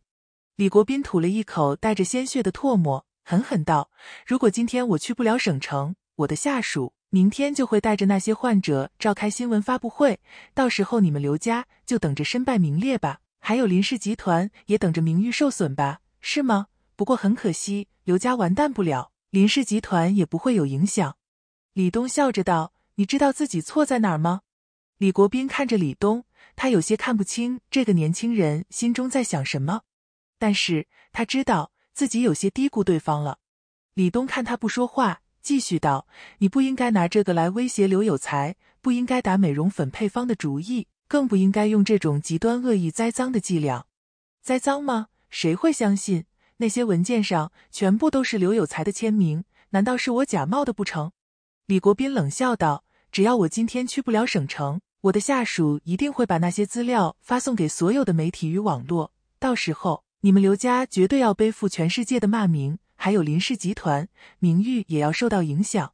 我告诉你，就算你今天把我给杀了。”刘家也一定会跟着一起陪葬。我一穷二白的小人物一个，死不足惜。你们不一样，何必跟我那么计较？李国斌也是豁出去了。他知道自己现在的处境非常危险，干脆跟对方拼个鱼死网破吧，搏一搏，或许还有一线生机。如果把那些患者的地址告诉他们，可能等待自己的就真的是死路一条了。李东欣赏他的执拗，却不认为这能改变任何事情。大头进来，李东淡淡道。哐，话落，大门被推开，大头走了进来。大哥，让他开口，让他交出名单，死活不论。李东淡淡道：“是，大哥。”大头答应一声，直接拖着李国斌就要往外面走去。等等，李国斌大声道：“怎么，愿意说了？”李东笑着问道：“放我一条生路，我把那些患者的名单交给你。”李国斌赶紧道：“他想通了，这是别人的地盘，如果不赶紧想对策的话，可能就真的没有办法离开这里了。我说过，你没有资格跟我谈条件。”李东面无表情，把名单给我。如果我心情好，或许会放你一次。你们放我离开，我把名单跟患者地址都给你。李国斌坚持，在他看来，只要离开这个地方，他就有活命的机会。看来你还是没理解我的话，带走吧。李东挥了挥手，大头会议再次拖着李国斌往外面走去。等等，等等！李国斌大声吆喝着，可是李东只是冷眼旁观，并没有制止大头。放过我，放过我吧！李国斌终于承受不住那种可怕的心理压力了，他直接痛哭出声，从肿成一团的眼睛里溢出了泪水。不要杀我，我把名单给你，我把患者的地址都给你，求求你不要杀我！放我一条生路！他抓着房门把手，死活不愿意离开，双腿跪在地上，想给李东磕头，但因为大头从后面扣压着他的肩胛骨，让他没有办法将脑袋磕在地板上。说：“在我身上，都在我身上。”李国斌赶紧道。李东对大头打了一个眼色，大头便松开了李国斌的肩膀，示意他自己拿出名单。李国斌赶紧脱掉皮鞋。取出了鞋垫，在鞋垫的夹层找出了一张纸来。李东也不嫌臭，将那张纸接过来，打开看了一眼上面那一排长长的名单，就这些。是的，就这些了，全部都在这上面。李国斌赶紧道：“你撒谎！”李东冷冷道：“将剩余的名单都交出来。”真的没有了，我说的都是真的，我发誓，我以我的人格发誓，我真的没有藏私，名单都在这里了，而且我保证，以后我再也不敢招惹你们刘家的人了，我跟你们没有任何关系。李国斌跪在地上，一边痛苦着解释，一边磕头。看到他的样子，李东相信了，人的眼睛是不会说谎的，他能看得出来，李国斌没有说谎，他说的都是真的。李东心中微微松了口气，只要名单到手，那就足够了。接着，他想起了一件事，问道：“我听刘有才说，是北方有人要你这么做的，说说吧，是谁？”李国斌脸色一变，但是却没有说话。不肯说吗？李东冷冷问道。他挥了挥手，大头又立刻上前要把他拖出去。不，我说，我说。李国斌赶紧道：“是北方崔家的人让我这么干的。”我也没有办法呀，崔家。听到这两个字，李东的眼睛顿时眯了起来。当年害死他母亲的几大北方家族，其中就有崔家。墨家已经被灭了，当时崔家还从中作梗，最终墨家的大宗师跟陈小刀打了一架，败北，崔家才停止了插手。没想到这才隔了没多久，崔家竟然已经把手伸到东海来了。李东重新看着李国斌，就像看着一个死人。拖下去，埋了当花肥。李东挥了挥手，是。这一次，大头不再迟疑，直接拖着李国斌出去了。李国斌吓尿了，不停的求饶，但李东却压根没理会。这个人既然是崔家的走狗，那就死不足惜。崔家，既然你们这么急着找死，行，等着，下一个就轮到你们了。那些中毒的患者当中，最悲惨的是那个只有几岁的小女孩。小女孩名叫李珊珊，他的父亲叫李明强。李明强今年只有三十来岁，但却长了一张四十几岁的脸，五十几岁的心。他如此年轻，却已经苍老的如同一个饱经风霜的老头子一样。他的妻子叫张平，比他还小两岁，堪堪三十岁的年纪，但现在已经两鬓斑白了，并且皮肤蜡黄，双眼空洞无神，像是只有一具躯壳的行尸走肉，导致他们变成这样的。自然是因为他们的宝贝女儿李珊珊在一个多月以前患了重病造成的。那是他们的爱情结晶，是他们视为生命延续的宝贝。可是，当有一天病魔突然降临的时候，他们的幸福生活完全被毁灭了。李珊珊的体质一直都不好。有一天，妻子看到广告中说有一种叫亲和牌子的保健品，可以给孩子补充各种所需的营养品，促进智力发育。为了能够健康成长，妻子就给女儿买回了那种保健品，每天给孩子吃。他们原本以为这样会给孩子的成长带来很大的好处，却没想到他们每天让孩子吃下去的是一颗颗催命的毒药。早知道这样，他们宁愿自己把那些东西吃了，也不愿意让女儿承受那样的痛苦啊！现在他们非常着急女儿的病情，心里对女儿满怀愧疚之情。特别是他们看到女儿头发脱落，脸色苍白如纸一样，他们的心就痛到无法呼吸。事情发生之后，他们也曾想过拿起法律的武器来为女儿讨回公道。可是还没有等他们这样做，一个西装革履的男人就出现了。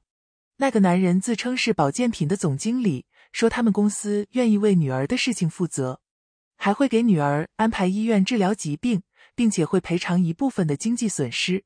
但是他们给出的条件却是不能让这件事情公布出去。如果公布出去，亲和保健品公司就会被法院查封。那样的话，这件事情最后只能不了了之，没有人会对他们女儿的病情负责的。李明强跟张平都是小学老师，他们无权无势，为了女儿的安全，他们也只能接受这样的条件了。就像那个叫李国斌的男人所说的那样，就算将那个无良公司告倒了，那又如何？他们女儿的仇是报了，可是女儿的病怎么办？虽然知道这样会让无良公司继续昧着黑心赚钱，是一件很不道德的事情，但是为了他们的女儿，他们只能忍气吞声，只能选择沉默。现在已经渐渐逼近年关了，别人家都已经开开心心的准备过年，采办年货，准备着一家团圆。可是他们家现在却是愁云密布，每个人的脸上都没有丝毫笑容，甚至连说话的声音都没有，屋子里更是冷得像是结了冰。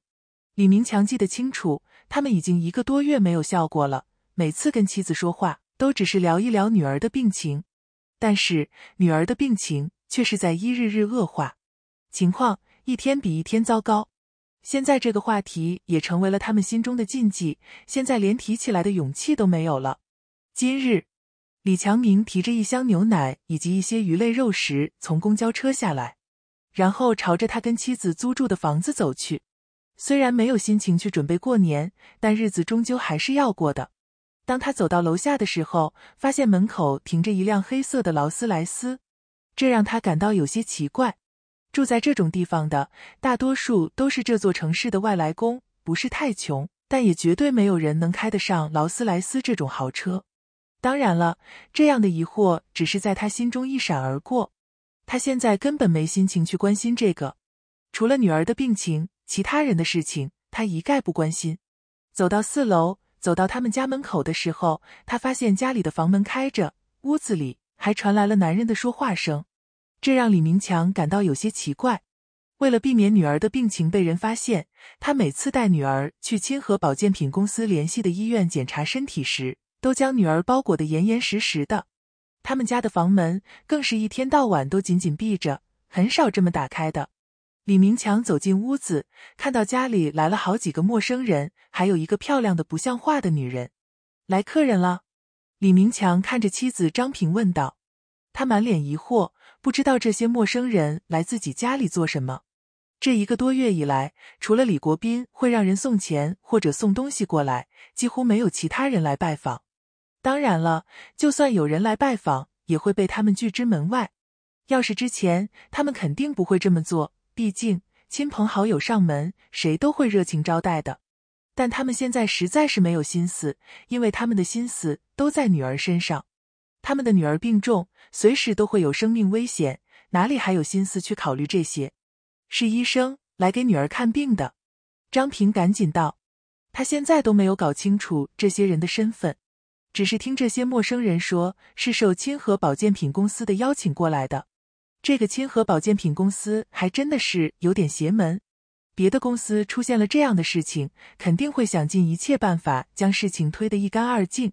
但他们倒好，现在已经有两拨人要为这件事情负责了。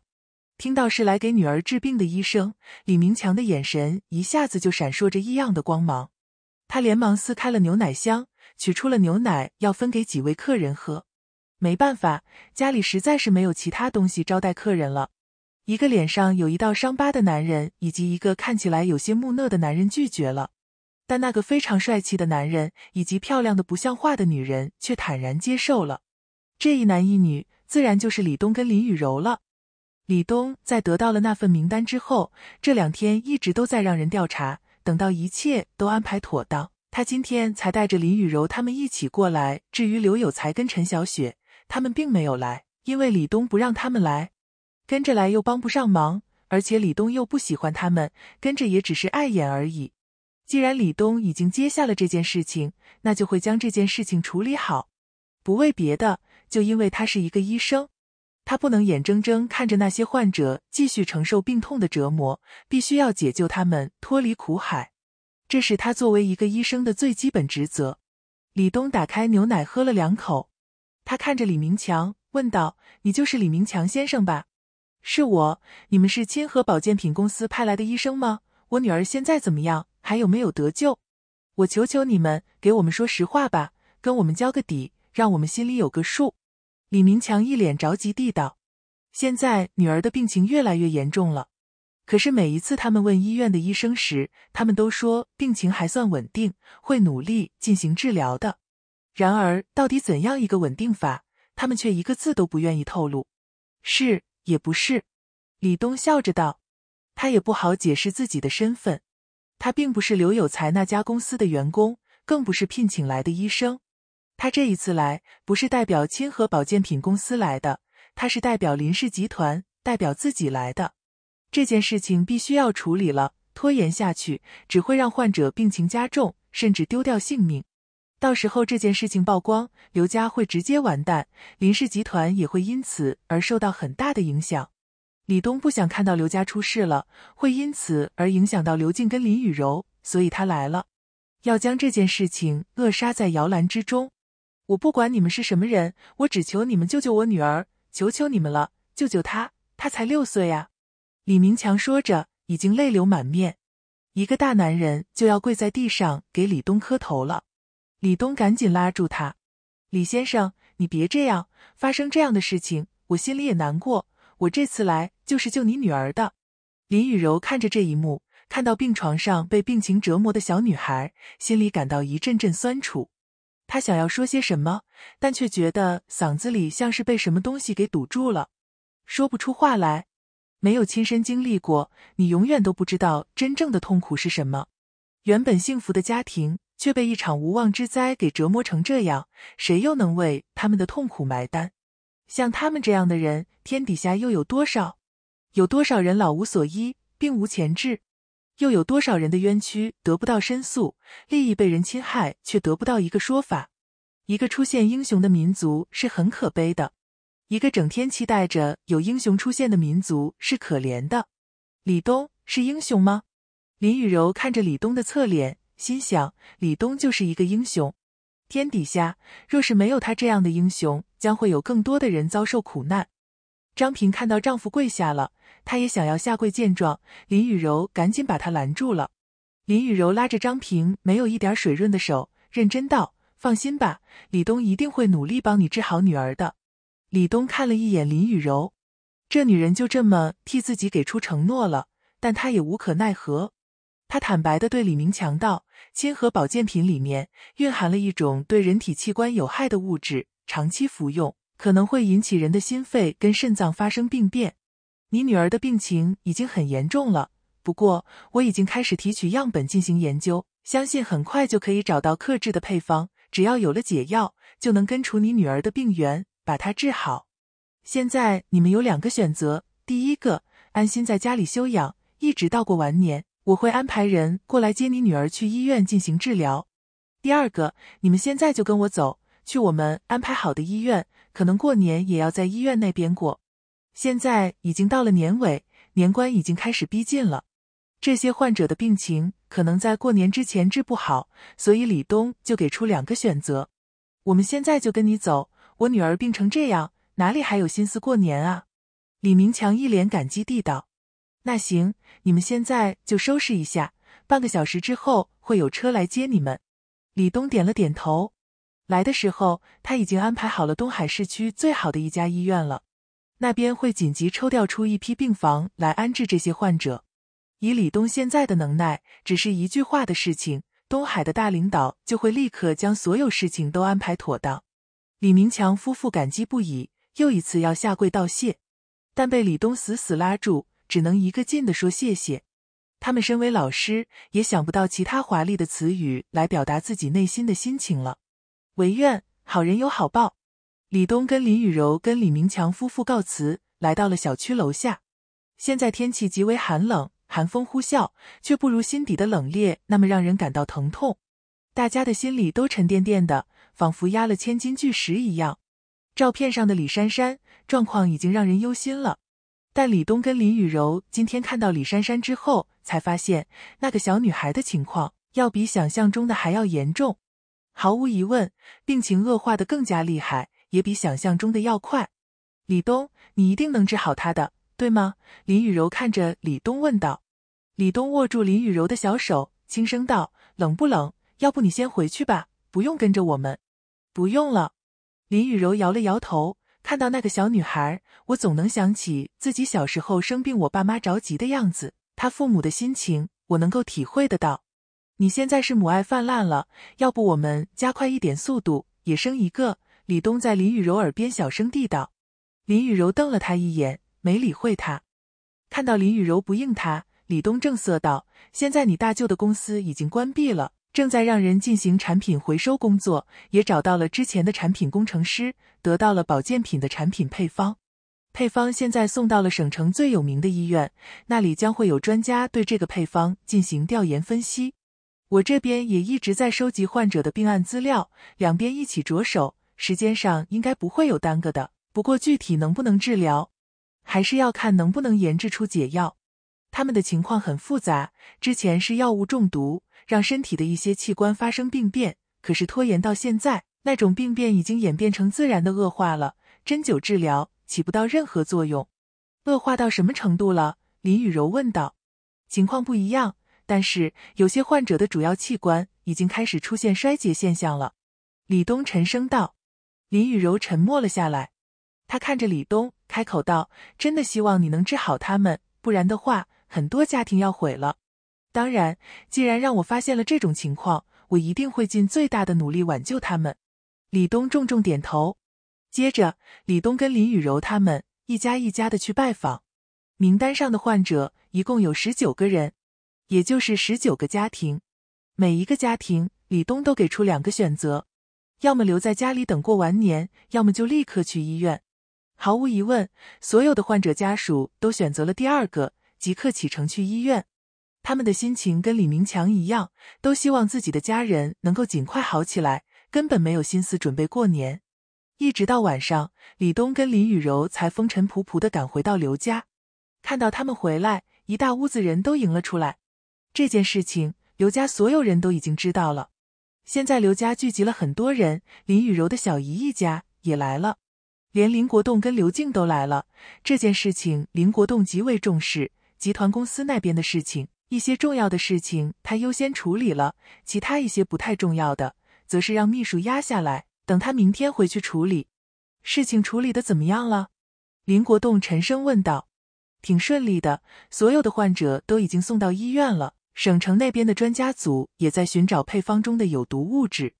李东回答道：“只要病因找到，就可以配置解药了。”做得好！林国栋拍了拍李东的肩膀，眼中满是赞赏。刘有才跟陈小雪知道事情处理的很好，终于也松了口气。于是他们就对李东感恩戴德，不断的道谢，就差跪下来了。毕竟。李东这一次可是真的救了他们一家子，否则这件事情一旦爆出去，刘有才一家肯定要去坐牢，并且连带着刘家的企业也要跟着完蛋。对于刘有才他们的道谢，李东只有一句话：“我不是在帮你们，我是为了救那些患者。”虽然如此，但陈小雪一家依然对李东感激不已。这一刻，他们才终于意识到，以前的他们到底有多么愚蠢。多么的鼠目寸光年关越来越近了。李东这段时间陪伴林雨柔在公司的时间越来越少，因为他经常往省城跑。所谓的自然是去跟专家组一起寻找配方中的有毒物质，想早点将解药研制出来。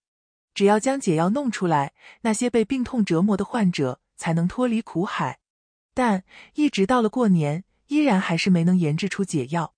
虽然没能研制出解药。却也取得了不小的进展，因为在李东的带领下，专家组已经初步提取出了有毒物质，如今正在分析阶段了。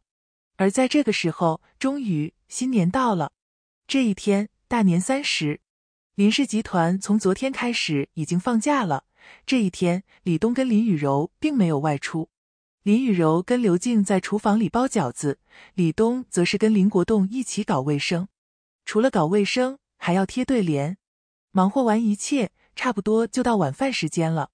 饭桌上，一家人其乐融融。小东啊，来多吃点肉。这段时间你天天跑省城，太辛苦了，好好补补。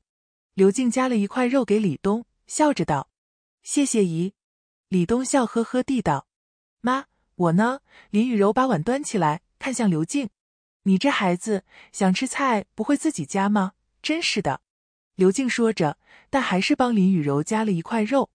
谢谢妈。林雨柔这才露出笑容，同时还瞪了李东一眼。就是这家伙，自从他来了之后，自己在家里的地位一落千丈。哼，来，小东，今天小年，咱爷俩喝一杯。林国栋拿出了一瓶酒，给李东斟了一杯，也给自己斟了一杯，朝着李东举起来。好，李东端起酒杯，跟林国栋碰了一下。刘静跟林国栋夫妻俩看着李东跟林雨柔，心情美的不行。今年他们家最大的变化就是多了一个人，一个亲人。在李东还没有来之前，他们家的生活困难到了极点，甚至于这个家都快要散了。现在不一样了，他们家的日子过得好起来了，无论是经济还是气氛，都发生了翻天覆地的变化。而改变这一切的，就是李东，在他们的心中，已经将李东当做自己的女婿来看待了。李东的心情则是有些感动。以前的他，自从小时候母亲被害死之后，就成了流浪的小乞丐。被师傅救走之后，他每天过的生活，要么就是训练，要么就是杀人，根本就没能享受过这样的温情。现在他终于在林家感受到了这种久违的亲情，这种感觉让他迷醉。看着林雨柔一家子高兴的样子，李东在心里暗暗发誓：以后你们的这一份笑容，就让我用一生去守候。天色渐渐暗了，啪！夜空中不知道是谁燃起了烟花。新年快乐！大家再一次举起了酒杯。次日，大年初一，前来林家拜访的客人络绎不绝，门口的车辆竟然排成了长龙。在这个破旧的小区里，这样的风景简直罕见，全小区的人都感到羡慕不已。要知道，以前的林家门可罗雀，而短短的几个月时间。林家已经发生了巨大的变化。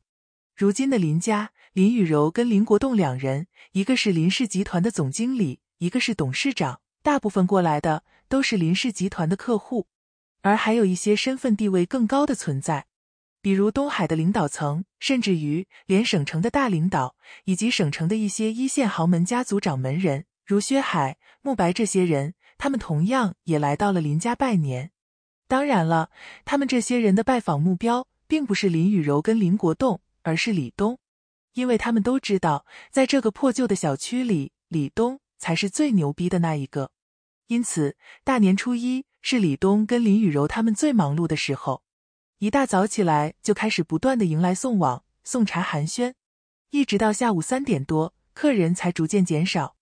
按照习俗，下午太晚的时候过来给人拜年是礼数不周。所以这个点几乎没有什么客人会来的。我们去医院看看好吗？林雨柔对李东道。虽然忙活了一天，让他的脸上显现出了疲倦的神色，但是他仍然提出去看望那些大过年依然还要躺在病房的患者。好，我们去看看珊珊。李东笑着点头。东海人民医院，这家医院占据了东海最繁华的街道中的一栋十一层现代化大楼。规模是东海最大的医院，而且里面的医疗设备也非常先进，是一家中西医相结合的现代化医院。那些患者现在就被安置在这所医院里。李东开着车载着林雨柔来到医院，停好车子，牵着林雨柔的手，朝着门诊大楼走去。由于今天是大年初一，医院里比往常时候少很多人。李东他们刚刚走进大门，一个打扮时髦的中年女人就直直的朝着他们这边走来。幸好李东反应够快，及时将林雨柔搂在怀里，那个女人才没有撞到林雨柔。不过她的手臂还是擦在林雨柔的肩膀上。哎呦，对不起，对不起！中年女人一脸歉意地道。她穿着黑色的铅笔裤，上身是一件红褐色的西装小外套，化着淡妆。看起来是一个很有文化素养的成功女人，没关系。林雨柔看了他一眼，摇头道：“没撞疼你吧？有没有什么不舒服的地方？如果有哪里不舒服的话，我们进医院检查一下。”中年女人上下打量着林雨柔，一脸着急地道：“别的人撞到了人，大多数都会担心事主会借机讹钱，她倒好，竟然主动关心起事主的身体，还要带着事主去看医生。”在这个信仰流失的年代，这样的风气人品就像是烈日里的一缕清风，让人觉得身心舒坦。没事的，你去忙吧。林雨柔笑着摇头，声音也变得柔和了很多。哎，没事就好。中年女人叹了口气：“我也是记者，要来给我父亲转院。这虽然是东海的人民医院，但医生的水平却很一般。啊，我父亲就是简单的哮喘，可是在这里住了半个月的院。”钱没少花，病却一点都没有好转，连大过年的，一个人还要在医院这边守着。今年有一个朋友过来拜年，介绍了一个中医给我，我抱着试试看的念头，就要了地址过去看了看。嘿，还别说，那医生真的神了。人家的店铺不大，但却门庭若市。我亲眼所见，但凡是被那位医生把过脉的，都能一下子说出你的病情。那小小的屋子里，别人送的锦旗都挂不下了。这不，我赶紧忙着来转院了。我是真的不想让我爸在这里待下去了。说着，他疑惑的看了李东跟林雨柔一眼。这大过年的，怎么跑医院来了？你们俩谁的身体不舒服？李东看了林雨柔一眼，笑着道：“是我的身体不太好，心口疼。”听到这话。中年女人的眼中闪过一抹喜悦的神色，身体不舒服是要早点看好才行。不过啊，我还是建议你们不要来医院了，费用又高又没什么用，治不好病。看在我刚才撞了你们的份上，我可以给你们介绍一下那位神医。不过他愿不愿意接诊还得两说。现在大过年的，他们也要一家团聚，不是？要不是我有朋友介绍，他都不愿意接待我们呢。是吗？那太好了。谢谢你啊，李东一脸高兴地道。林雨柔看了李东一眼，沉默着没有说话。他当然看得出来，李东这是故意这么说的。他也看得出来，这个中年女人有极大的可能是托，是他口中那位神医的托。那我们走吧，我带你们过去，就离这里不远，出门左拐几百米就到了，没几步路。中年女人一脸热情的笑着道：“好啊。”李东点了点头。不过你不是说要给你父亲转院吗？我们可以等一下的。已经转了。中年女人连忙道：“我就是过来拿一下他落下的东西，不着急的，还是先带你们过去吧。太晚的话，神医就要下班了，这病啊，可耽搁不得。”李东笑了笑，没有说话。接着，在中年女人的带领下，李东跟林雨柔走在身后，很快就来到了一条狭窄的胡同里面。怎么在胡同里面的？不会是骗人的吧？李东装作很警惕的样子问道。没有啊，我今天在这边看了一整天呢。来找他看病的人可多了。你想啊，连这种小胡同都有人找过来，要是让他在大路边开诊所，那得有多少人啊？中年女人赶紧道：“也是啊。”李东点了点头。既然他的医术那么好，为什么不在大路边开一家诊所呢？这，可能是神医自己忙不过来吧。我也不太清楚，这神医的医术太厉害了，都有些怪毛病的中年女人笑着道。李东心想，他这话倒是没有说错。比如说，他就是因为太有能力了，反而不想去医院当医生，也不想自己开诊所。又走了一分钟左右，中年女人在一家小诊所门口停了下来。诊所的门口有一块木质的招牌，上面刻着“民济堂”三个金色的大字。装修上不得台面。但也不会太差，起码外表看起来很干净。中年女人转身对李东笑着道：“算你们幸运，神医现在还没有下班呢。那就麻烦你帮忙介绍一下了。”李东一脸感激地道：“别客气呀，我也是病人家属，知道生病的痛苦。”中年女人摆手道：“她快走一步，在外面推开了玻璃大门，走进了一个房间，里面坐着一个穿着白大褂的中年男人。”这个中年男人四五十岁的样子，面相清瘦，一头乱发披散在肩膀上，正拿着一本颜色古黄色的书籍在看。这神医呀，你现在有空吗？我有个朋友心口疼，很好的朋友，你能抽点时间帮他看看吗？等着。神医头也不抬，他的表演很到位，将一代神医的傲气风格完美的演绎了出来。神医，你帮个忙，我这位小兄弟身体真的很不舒服。这大过年的，你行行好。中年女人一脸奉承地道：“没看到我在忙着吗？”神医抬头不悦的瞪了一眼那个中年女人。“那你今天有没有时间？”中年女人问道。“有没有时间，那就要看我的心情了。”神医淡淡道。听到这话，中年女人看向李东，装作有些为难的样子。神医好像心情不太好啊，那怎么办？李东急忙问道。小兄弟，这大过年的，我们也图个吉利。你看，给神医一个红包吧，他收了红包，说不定心情就好了。你也不用一直等着，是吧？那你觉得给多少合适？李东问道。中年女人想了一下，咬牙道：“三百八，一丝一丝就行了。”这还没有开始看病，就要三百。这女人也是下了很大的决心，因为她怕要多了，就把这头肥羊给吓跑了。三百太少了吧？图个吉利。八百吧，李东笑着道：“恰好他口袋里面还有一些今天没有送出去的红包。李东拿出一个红包，又拿出了八百块现金，装进了红包里。看到李东的举动，中年女人顿时笑得合不拢嘴。行，你自己看着办就好，这是你自己的事情，你觉得这样吉利，那就这样吧。那个神医看到李东递过来的饱满红包，心情一下子就好了起来。他放下了手中的那本书，不动声色地将桌子上的红包收进抽屉里。对李东做出一个邀请的手势，示意他坐在对面的椅子上。今年呢是大年初一，本来我是不打算出来看病的，可是你既然是他介绍过来的，我也不能太绝情。说，说吧，哪里不舒服？李东看了一眼那个中年女人，对神医道：“可是这位大姐不是说你很厉害吗？只要把把脉，就能立刻知道什么病。那你也帮我把把脉吧。”神医顿时有些不乐意了。他说的没错。可是你不觉得这是浪费时间吗？医生的职责是治病救人，病人的职责是辅助医生的工作。你把不舒服的地方说出来，这样的话，再经过我个人的判断，就能更加全面给你开药了。我自己说出来，那也不能显现出你的厉害啊！难道他在骗我？李东笑着道：“你什么意思？”神医生气了，拍了拍桌子：“你要明白一点，是你来这里求我帮你看病的。”不是我主动请你来的。如果你的态度不端正，不能给医生应有的尊重，像你这样的患者，我是拒绝治疗的。你走吧。李东点了点头，直接站了起来。不过他没有立刻离开，而是看着那个神医。我走可以，把我的红包还给我。红包？什么红包？神医一脸茫然的样子。你刚才放进抽屉里的红包，我刚刚给了八百块钱的。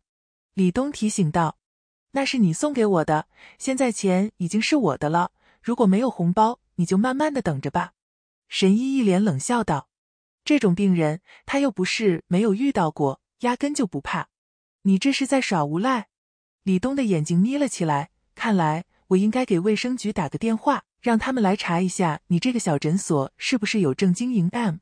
那你打呗，我在那边有熟人，他们会理你才怪了。再说了，这大过年的。谁愿意来管这种事？神医丝毫不惧，看来他也是一个老油条了。既然这样，那就再找几个记者朋友来帮忙好了。李东淡淡道：“你已经构成了欺诈行为，如果被媒体曝光，你说会有什么后果？”神医气得脸红脖子粗，他想再说几句狠话，但是那个中年女人却瞪了他一眼，于是他不说话了。哎呀，你看看这大过年的，何必闹得这么不愉快呢？这个小兄弟啊，是因为身体不舒服，所以才来找神医帮忙治病的。神医，你也不要跟他一般见识，年轻人嘛，难免会脾气冲动一些。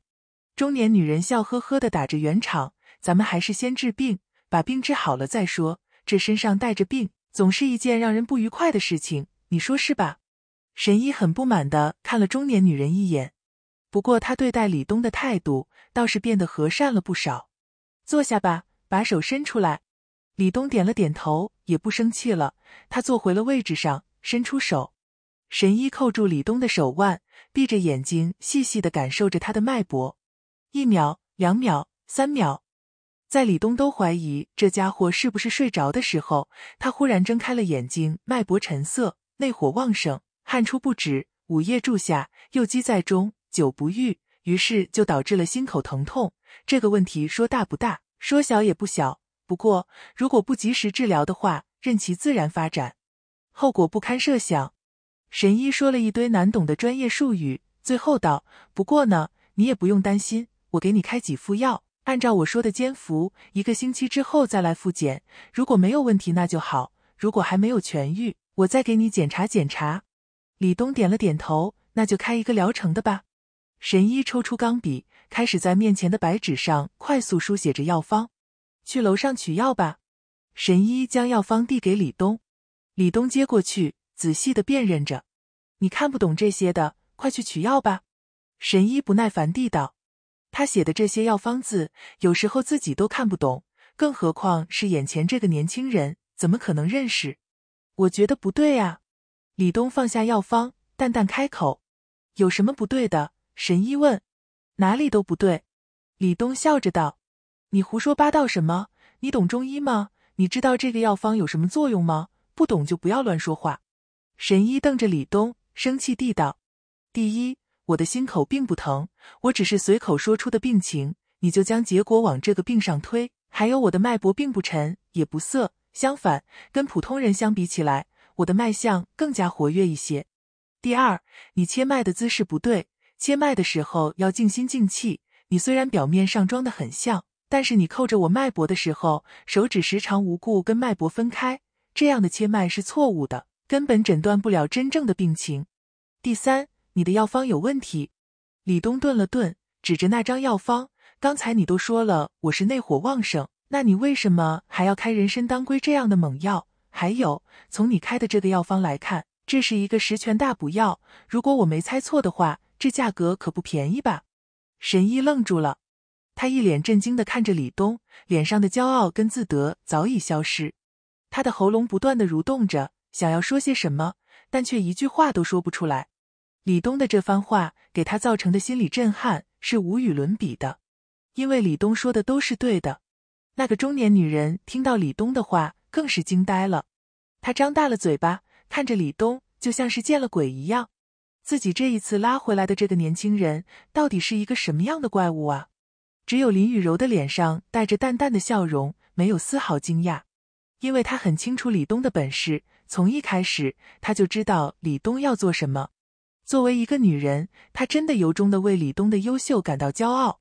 你，你是？神医盯着李东，说话都开始结结巴巴了。他满脸震惊，那种神医的风范已经消失无踪。我跟你一样，也是一个中医。李东淡淡道。听到这话，神医顿时大怒，觉得自己受到了欺骗。你自己都是医生，还跑来找我看什么病？但他很快想到了事情的后果，脸上顿时又带上了讨好的笑容。他拉开抽屉，将那个红包拿了出来。哈哈，相识就是缘分，没想到大过年的还能遇到同行。这个红包我是无论如何都不能收的，现在请你拿回去吧。这个红包你确实没有资格收。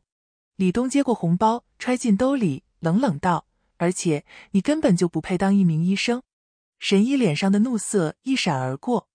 但接着他又恢复了谄媚的样子。你也知道，现在的市场不景气呀，我们这些学中医的也只能想一些其他方法来养家糊口了。哈哈，你大人不计小人过，这件事情你就当没看到行吧。他说着，好像是想起了什么，再一次打开了抽屉。他抽出了一大把红包，塞给李东，来，小小意思，不成敬意。无论如何，你都要收下。李东看着他手里的红包，心想。看来这大过年的，这家伙的生意还不错啊！这一大把红包，大概都是被介绍来这里的患者送的。这个家伙忙活了一整天，现在要将这些红包给自己，估计在心里恶毒的诅咒自己吧。这个钱我不会收的，而且这件事情我确实看到了。李东摇了摇头，他怎么可能任由这样的庸医继续在东海害人？就刚才对方施展出来的医术，医生两个字。他真的不配，你到底想怎样？神医不耐烦了，死死盯着李东。三点，李东竖起三根手指：第一，关门停业，把欺骗患者的钱全部退回去；第二，主动去公安局自首，承认自己的罪行；第三，永远不要说自己是一个中医，免得败坏了中医的名声。听李东说完，神医大怒：“你以为你是谁？我把你的钱退给你就行了。”我做什么跟你有半毛钱关系？你凭什么管那么多？中医之所以被人看小，名声不好，就是因为你们这种人在搞破坏，我绝不容忍。现在你可以自己打电话报警，如果你不愿意的话，我可以代劳。李东淡淡道：“你开什么玩笑？我凭什么听你的？”神医从椅子上站了起来，对那个女人道：“我们走。”但他很快就停了下来，因为李东挡在前面，让开。神医喝道：“退回去。”李东淡淡道。神医点了点头，他很听话的退了回去。但他是退回去，拿起座机打了一个电话号码。很快，楼梯上传来了脚步声，有人正在朝着这边快速赶来。刚才这个神医让李东拿着药方去楼上抓药，显然在楼上还有其他人的。下来的是两个年轻男人，二十几岁的样子，一个微胖，一个稍瘦。那个瘦子跑过来问道：“师傅，发生什么事情了？咋的？是哪个不长眼的过来闹事？”胖子说话的时候已经开始挽起袖子，准备对李东动手了。就是他，把他给我轰出去！神医指着李东，大声喝道：“你找死！”那个胖子跟瘦子朝着李东包围过来，胖子先出手，一拳朝着李东的胸口打了过来。李东面无表情，他轻轻挪动一下脚步，就躲开了胖子的这一拳。接着他反手一击，一拳打在了胖子的鼻子上，咔嚓。虽然只是李东随手打出去第一拳，也没有运转气机，但胖子的鼻梁依旧承受不住。随着一道脆响，他的鼻梁被打断了。瘦子没想到李东一出手就伤人，还没有从眼前的变故中反应过来，他的眼睛就已经挨了一拳。顿时，瘦子捂着眼睛蹲在地上痛呼出声。这样的两个对手，压根就不用李东耗费功夫，比蝼蚁还蝼蚁。打电话报警。李东看向那个神医，淡淡道：“兄弟，咱们有话好好说啊！你开个条件，我报警。”李东的声音冰冷了起来，他的耐心是有限的。神医面如死灰，他狠狠地瞪了一眼那个女人，伸手拿起了桌子上的座机。没多久，警察就来将他们带走了。你说我是不是管的太多了？李东看着被警车带走的神医师徒跟那个女人，笑着问林雨柔。你要是不管，其他人也不管，那么上当的人就会越来越多，患者的病情越来越严重，骗子却在发大财，这对其他人来说太不公平了。林雨柔挽着李东的手臂，摇头道：“这种人就应该要受到法律的制裁。在人民需要英雄的时候，你恰好就扮演了这样一个角色。”林雨柔直视着李东的眼睛，认真道：“我不奢望你能拯救宇宙，维护世界和平。”但我希望我的男人可以在遇到力所能及的事情时，能像个男人一样站出来。我喜欢这样的你，也一直为你的所作所为感到骄傲。李东哈哈一笑，然后他在林雨柔的耳边小声道：“可是我还不是你男人呢，要不我们……”林雨柔一愣，接着俏脸一下变成了红苹果。我才不要听你说这些胡话呢！林雨柔赶紧松开了李东的手臂，不敢看李东的眼睛，快步往前跑去。快走啦，我们去看珊珊了。看着林雨柔落荒而逃的样子，李东心中暗暗好笑。这丫头太容易害羞了，调笑两句就脸红的不得了。等将来结了婚，洞房花烛的那一夜，这丫头也不知道会害羞成啥样呢。想到结婚，李东的心中就充满了期待，真的很希望那一天快点到来呢。很快，两人又回到了医院。来到安置那些患者的病房区，李东满脸笑意的走进一间病房，笑着跟大家打招呼：“大家新年快乐！我们来给大家拜年了，祝大家万事如意，早日康复。”林雨柔从包包里面取出了早已准备好的红包，挨个派发。可是预想中的喜悦情景并没有出现，反而是大家满脸愁云，一脸焦急的看着李东：“怎么了？发生啥事儿了？”李东感觉到气氛诡异。问道：“李医生，你实话告诉我们，我们这病是不是没得救啊？”一个躺在病床上的老人问道。“就是啊，你给我们说老实话吧，我们都一大把年纪了，已经做好心理准备了。要是不能救，也给我们交个底呀，我们不会为难你的。”另外一个老太太也赶紧搭腔：“是不是治不好了？如果是的话，不要瞒着我们了，我们不会怪你的。”一个中年女人红着眼眶，大家都看得出来。你是一个好人，是一个好医生，可是我想带着儿子回去看看爷爷奶奶。他们每次打电话来，我们都以工作拒绝带孩子回去，他们都急坏了。我不想让孩子连爷爷奶奶最后一面都见不到了。在他身边躺着一个十岁左右的孩子，大家的情绪一下子激动了起来，纷纷询问。他们的脸上有担忧，有恐惧，还有无可奈何的挫败感。显然。肯定是发生了什么重大的事情，让他们对治疗失去了信心。一直到他们都问完了，李东才笑着摇头。从找到你们的第一天开始，我们就对那些保健品以及你们的血液进行分析检查了。就在昨天，我们专家组已经找到了有毒物质，现在开始对病毒进行细菌培养了。也就是说，你们的病有救了。李医生，你就不用说这些好话来安慰我们了。我说的都是真的呀。李东苦笑道。可是我们听说有个小女孩要死了，是真的吗？听到这话，李东的脸色顿时变了，林雨柔的脸色同样也变了。什么？如果真的有人死了，这里所有的患者都会失去信心。那些不甘心的患者家属绝对会将这件事情曝光出去，到时候一切都挽救不回来了。刘家要被千夫所指，林氏集团也要遭遇到可怕的名誉打击。是谁？谁要死了？李东赶紧问道。是一个小女孩，好像叫李珊珊。有人回答。李珊珊。林雨柔的脸色更加苍白了。她对那个小女孩有着特殊的感情。毕竟一开始她跟着李东去接触那些患者的时候，第一个接触的就是李珊珊。当时的李珊珊给林雨柔造成极大的心理影响，让她心疼了好几天呢。李东的脸色也变得无比阴沉。大家先好好休息，没事的。我刚才说的都是大实话，你们一定会没事的。说完，他拉着林雨柔的手朝着院长办公室走去。走廊上，李东遇到了这家医院的副院长。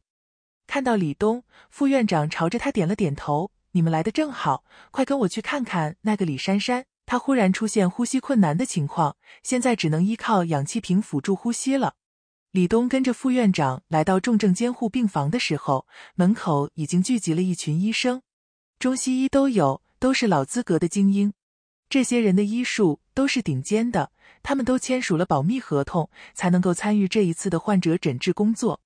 之所以签署保密协议，自然是担心他们泄露这件事情出去。当然了，等到任务完成了，他们所有人都能得到一笔很可观的奖金。此时，李明强跟张平夫妇俩人急得团团转。他们趴在透明的玻璃墙上，看着躺在病房里的女儿，无声的抹着眼泪。他们跟李东比较熟悉，也知道他比较好说话。看到李东走过来，夫妻俩人直接朝着李东跪了下来，然后一个劲儿的磕头：“李医生，求求你，求求你救救珊珊吧，救救她呀！”李明强红着眼睛：“秦医生。”求你了，救救我的女儿！我这辈子就算做牛做马也会报答你的，求求你呀！张平更是一把鼻涕一把泪，看起来让人非常揪心。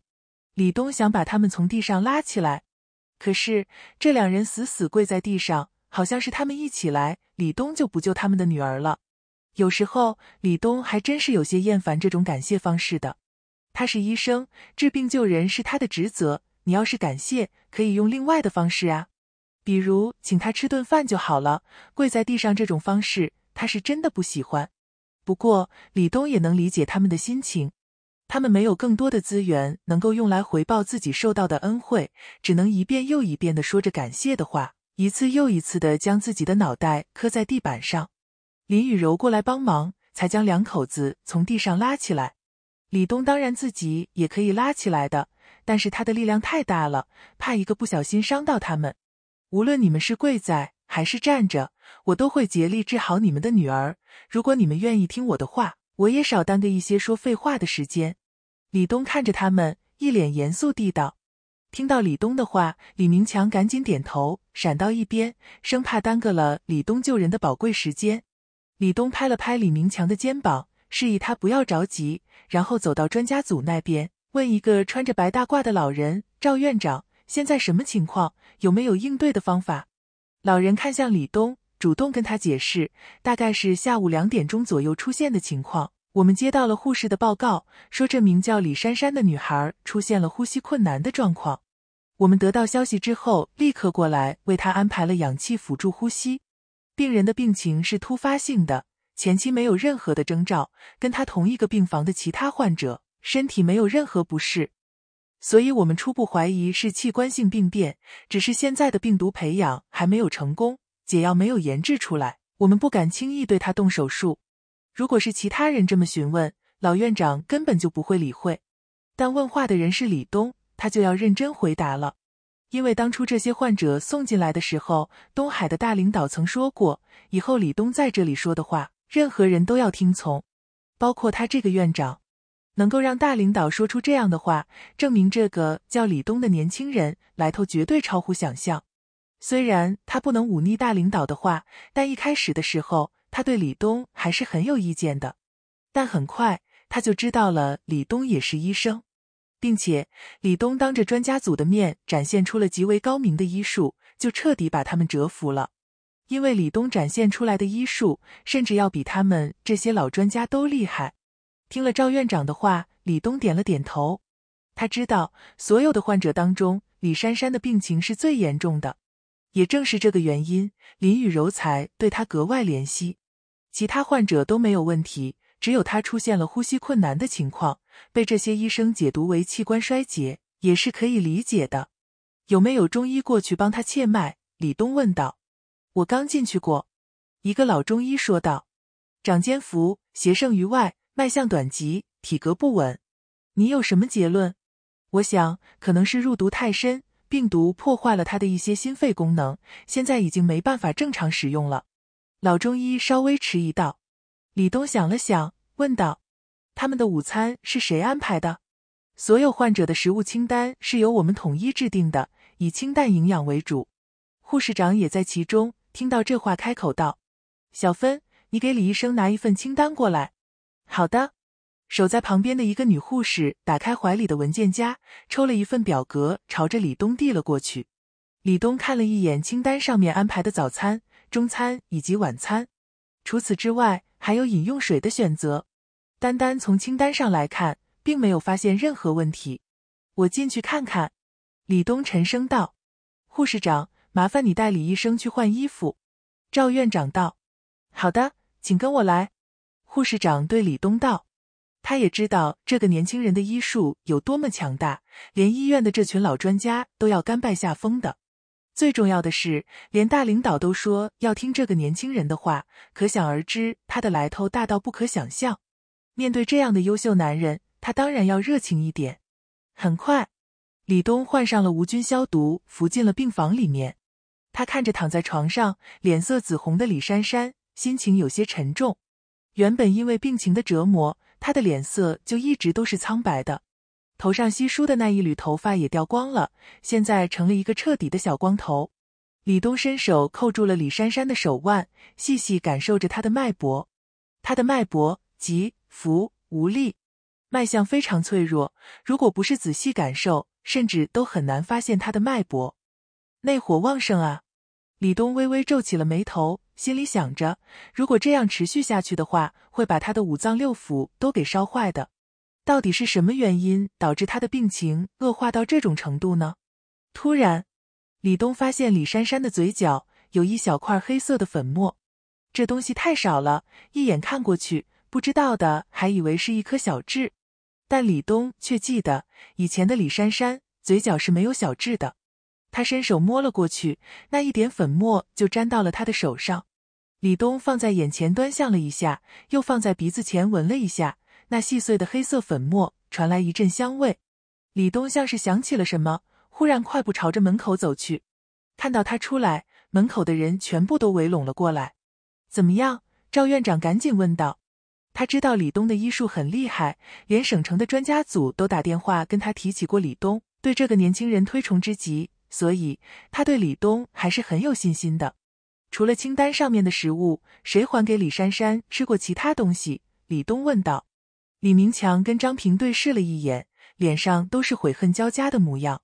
张平着急的问道：“李医生，这个对孩子有影响吗？”“当然有，你们女儿病情恶化，很有可能就是这个原因引起的。”李东也发现了他们的脸色异样，赶紧问道：“你们是不是给他吃其他东西了？”李明强一脸尴尬的点头：“是啊，今天吃过午饭之后，孩子闹着说要是肯德基。原本我们是不想答应的，可是孩子一直在闹，我们就想今天是大年初一，孩子病了一个多月了，好久没吃这种东西了，我就去给他买了一点。”张平一脸悔恨：“是我们害了珊珊啊！”李东叹了口气：“他的消化能力太差了，肯德基的东西本来就是油炸上火的，在他还没有痊愈之前。”再也不能给他吃这种东西了。他说着，转身对那个护士长道：“护士长，麻烦你去其他病房通知一声，就说除了我们医院提供的食物，不能吃外面的任何东西，否则出了事故，后果自负。另外，也把李珊珊病情加重的原因跟他们说一下。”好，我这就去。护士长答应着，直接就快步离开了，都没有请示一下院长要不要这么做，因为护士长很清楚李东这么做是对的，可以有效防止这样的事故再次发生。李东，你有办法吗？赵院长问道。有，现在最重要的是先给他降火。李东沉声道。好，需要我们帮忙吗？赵院长问道。给我一盒银针就行了。李东点了点头，再找一个护士跟我一起进去帮忙。很快，李东再次进了病房，他用手指按压的方法按摩李珊珊的手腕关节处。几分钟之后，效果出来了。原本闭着眼睛的李珊珊，忽然间有了一股强烈的呕吐欲望。她的喉咙在剧烈蠕动着，眼皮也在动来动去的，好像要睁开眼睛一样健壮。李东对护士道：“来，你把她扶起来。”护士会意将李珊珊的身体扶起来，让她坐在床边。李东的指压动作没停，另外一只手将床底下的垃圾桶拿了出来，放在一边准备着。又是几分钟过去，在李东的手指刺激下，李珊珊的胃部饱胀感越来越强烈了，最后终于难以控制。哇！她单薄的身体猛地往前扑去，大口大口的呕吐了起来。李东赶紧将拉垃圾桶放在他的嘴巴下面，将呕吐物给接住了。等他吐完之后，李东才停止了手指按压的动作，将垃圾桶放下。好了，让他躺下来吧，帮他擦干净嘴巴。美女护士此时已经对李东崇拜到了极点，看着他的眼神充满了小星星。对于李东的命令，他没有任何犹豫就执行了。李东则是取出了准备好的银针。选了一根长的，开始用酒精消毒。只要用太乙神针来帮助李珊珊将体温降低，她这条小命就算是暂时保住了。十几分钟之后，李东从病房里出来了。看到他出来，专家组的所有人，包括赵院长在内，他们看着李东的眼神充满了发自内心的钦佩与尊敬。李东的医术真的折服了他们所有人。李东怎么样了？赵院长迎上来问道，林雨柔也走上来，从口袋里拿出了手帕，细心的为李东擦拭着额头上的汗水。李医生，珊珊怎么样了？有没有事儿？李明强夫妇走过来，一脸担忧的问。李东摇了摇头，没事了，把中午吃的东西都吐出来了，可能现在身体有些虚弱，你们先不要去打扰他，我让护士给他输一点营养液。好的，好的，我们都听你的。再也不敢随便给他吃东西了。李明强连连点头。那我们先走了。林雨柔道。他看着李东，似乎有点疲倦，有些心疼。等李东离开，那些专家们纷纷出言称赞：“李医生太厉害了，年纪轻轻就有如此医术，假以时日，必然是国之圣手。”对呀，咱们这么多人围着珊珊研究了半天，怎么他进去一趟就看出来是食物的问题？我们怎么就没看出来呢？真正的高手啊，特别是他的针灸技术。你们刚才看到他用针的气度没？快准狠，妥妥的大家风范啊！可惜他这么好的医术，却并没有在医院上班。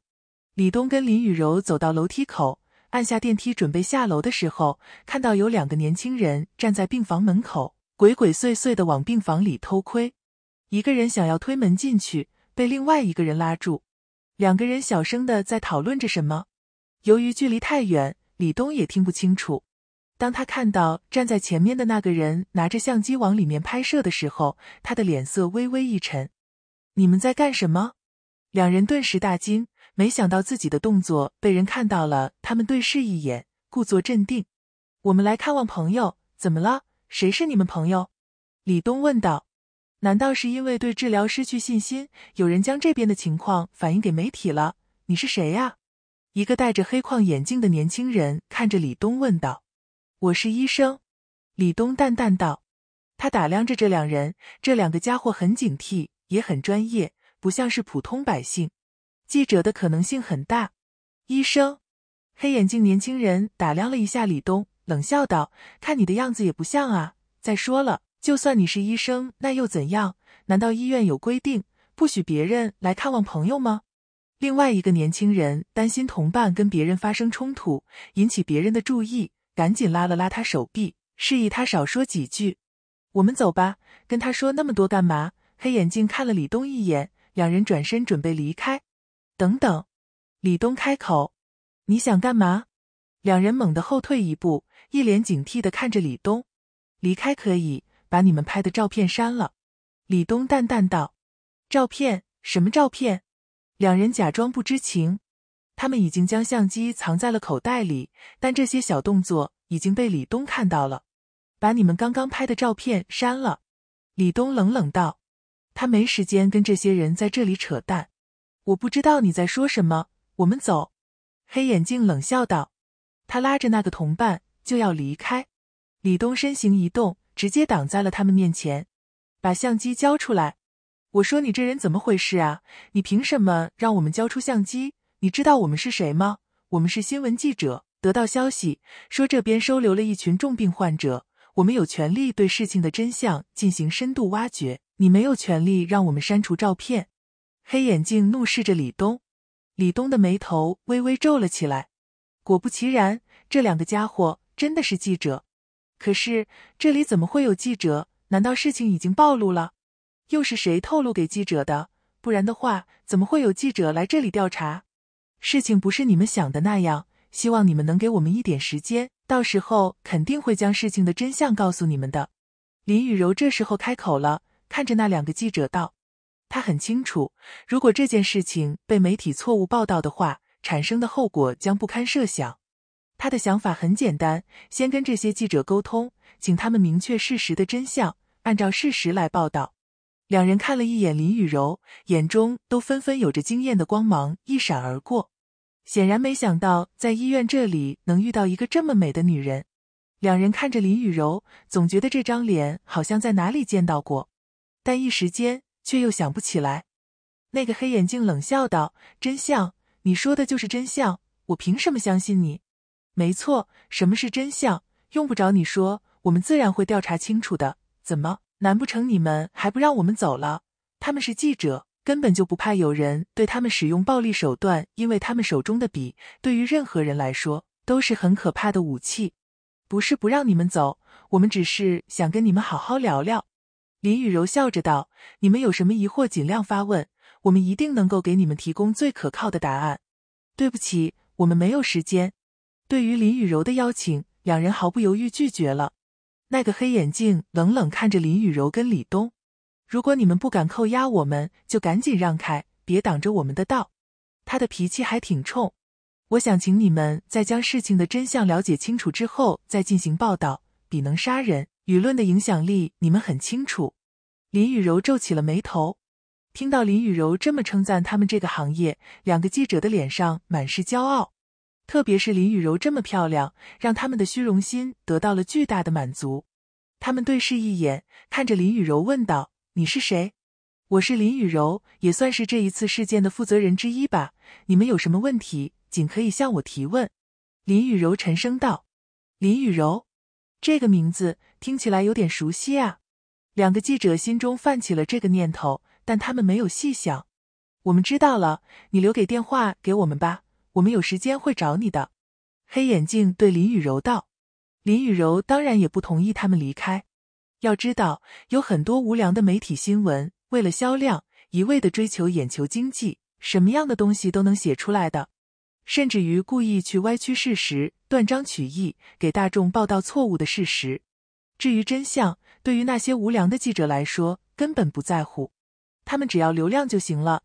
至于当事者是什么想法。”会受到什么伤害，跟他们压根没关系。林雨柔知道，如果让他们离开，估计明天这件事情就要上头条。这样吧，你们开个条件，怎样才肯将照片删掉？林雨柔问道。虽然他也不赞成收买媒体的方法，可是他更不希望刘家跟林氏集团因此被媒体泼脏水。特别是林氏集团若是因此而受到名誉影响，这是林雨柔绝对不希望看到的。林氏集团不是他的林氏，也不是李东的，现在是所有员工的林氏。无数的员工每天都在努力工作，无数人的辛苦努力，才让林氏集团发展到现在，岂能毁于宵小之手？黑眼镜一愣：“你能开什么价？”他想了想，又摇头：“算了，跟你也谈不成什么事的。我们想谈的话，也不会跟你们谈。让开，我们要离开。”不然的话，不要怪我笔下无情，把这些事情通通都曝光出去，那个时候你后悔可就晚了。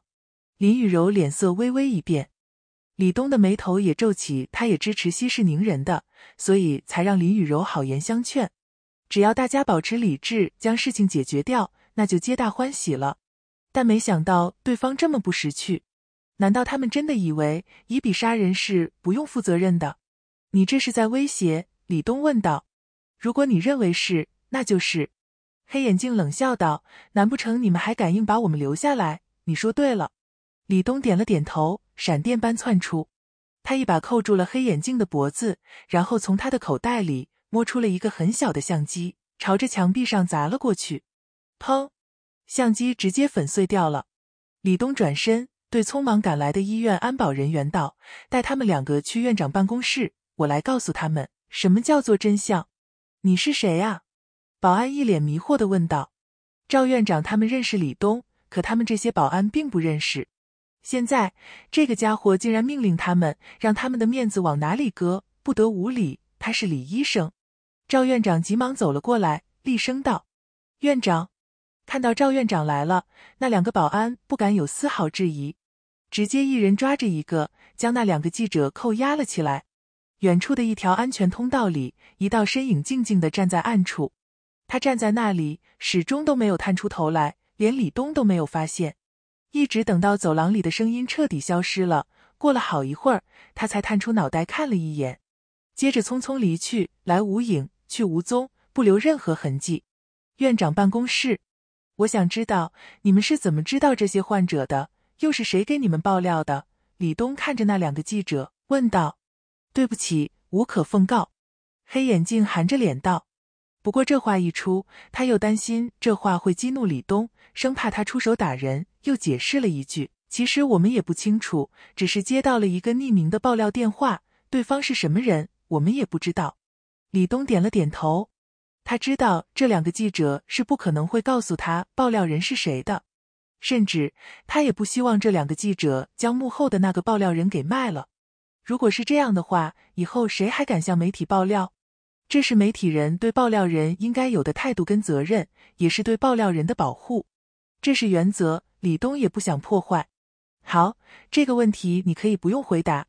李东点了点头。我不知道爆料的人是怎么跟你们说这些患者的来历的，但是我可以向你们介绍这件事情的来龙去脉，而且我手头上有大量的证据说明我说的都是事实。两个记者没有说话，只是看着他。从他们的脸色可以看得出来，他们对李东很有意见。我尊重你们挖掘真相的权利，也乐意配合你们的工作。我并不是有意冒犯，我只是希望你们能够在报道事情的时候能够慎重一些。大家需要的是真正的事实真相，而不是添油加醋、胡乱扭曲事实。当然，我们是站在受害者那一边的，我们的职责就是报道真相。不然我们还做什么记者？黑眼镜冷冷到林雨柔这时候说话了：“我们的立场跟你们都是一样的，都是站在患者那一边。但是这里面有很多事情不是表面上所看到的那样。我觉得你们应该了解了事情的真正情况再做报道。什么是真正的情况？我们自然会去调查。”黑眼镜丝毫不给面子：“这位先生刚刚打坏了我们的相机，行为相当粗暴。我们不想听你们的话。”现在立刻让我们离开！林雨柔的眉头皱了起来。这个记者的脾气很火爆啊！要离开可以的，但你们必须要听我说完这件事情的经过。黑眼睛跟另外一个记者对视一眼。你说？林雨柔点了点头，开始讲起了这一出保健品中毒事件的原因，讲了自己的后续处理方法，讲了他们对这件事情的态度。还讲了以后会如何对这些患者的补偿条件，如何为他们提供后续的生活保障问题。但他发现自己讲完了之后，那两个记者还是一脸冷漠。林雨柔心中微微一沉，故事很感人，还有吗？黑眼镜记者冷笑道。很显然，他不相信林雨柔的这番话。不信的话，你们可以去采访患者的。林雨柔皱眉，他们怕是早就被你们给收买了吧？黑眼镜哈哈笑道：“我刚才说的就是事实。”林雨柔有些意兴阑珊了。有些人用语言真的是说不通的。现在你们可以走了。但是我希望你们将这件事情弄清楚了再发稿子。林雨柔看着他们道：“你的相机是我男朋友弄坏的，你们开个价吧，我一定赔偿。十万够吗？”黑眼镜原本是想说一些拒绝的话，因为这样的话，他们也可以把这个当做攻击点来抹黑对方，包括这家人民医院。可是林雨柔一下子开出了一个让他们没有办法拒绝的价钱，用不着那么多钱。黑眼镜摇头，就十万吧。林雨柔沉声道。他立刻拿出手机打了一个电话出去，电话是打给林氏集团的一个财务主管的。虽然林氏集团已经放假了，但是那位财务主管林雨柔让他随时候着，因为那些患者的缘故，在医院所产生的开销，目前还是以林氏集团的名义走账的。由于是春节期间，那位财务主管的工资自然是三倍的。对此，那位财务主管非常乐意。反正有需要才过来一趟，其他时间他还是自己安排的。很快，那位财务主管过来了，提着十万现金。先生，为了方便我们走账，请在这边签名。财务主管还拿了纸笔，对那个黑眼镜道：“黑眼镜年轻人犹豫了一下，想起这是对方配方给自己相机的费用，就在上面签下了名字。然后他们离开了。等到两个记者离开，李东笑着道。”怎么给他们那么多钱？那个相机也值不了十万啊，是值不了那么多。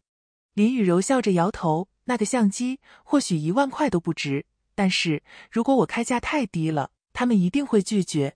如果是十万的话，他们想说拒绝的话就很难再说出口了。我只是开出了一个让他们难以拒绝的价钱。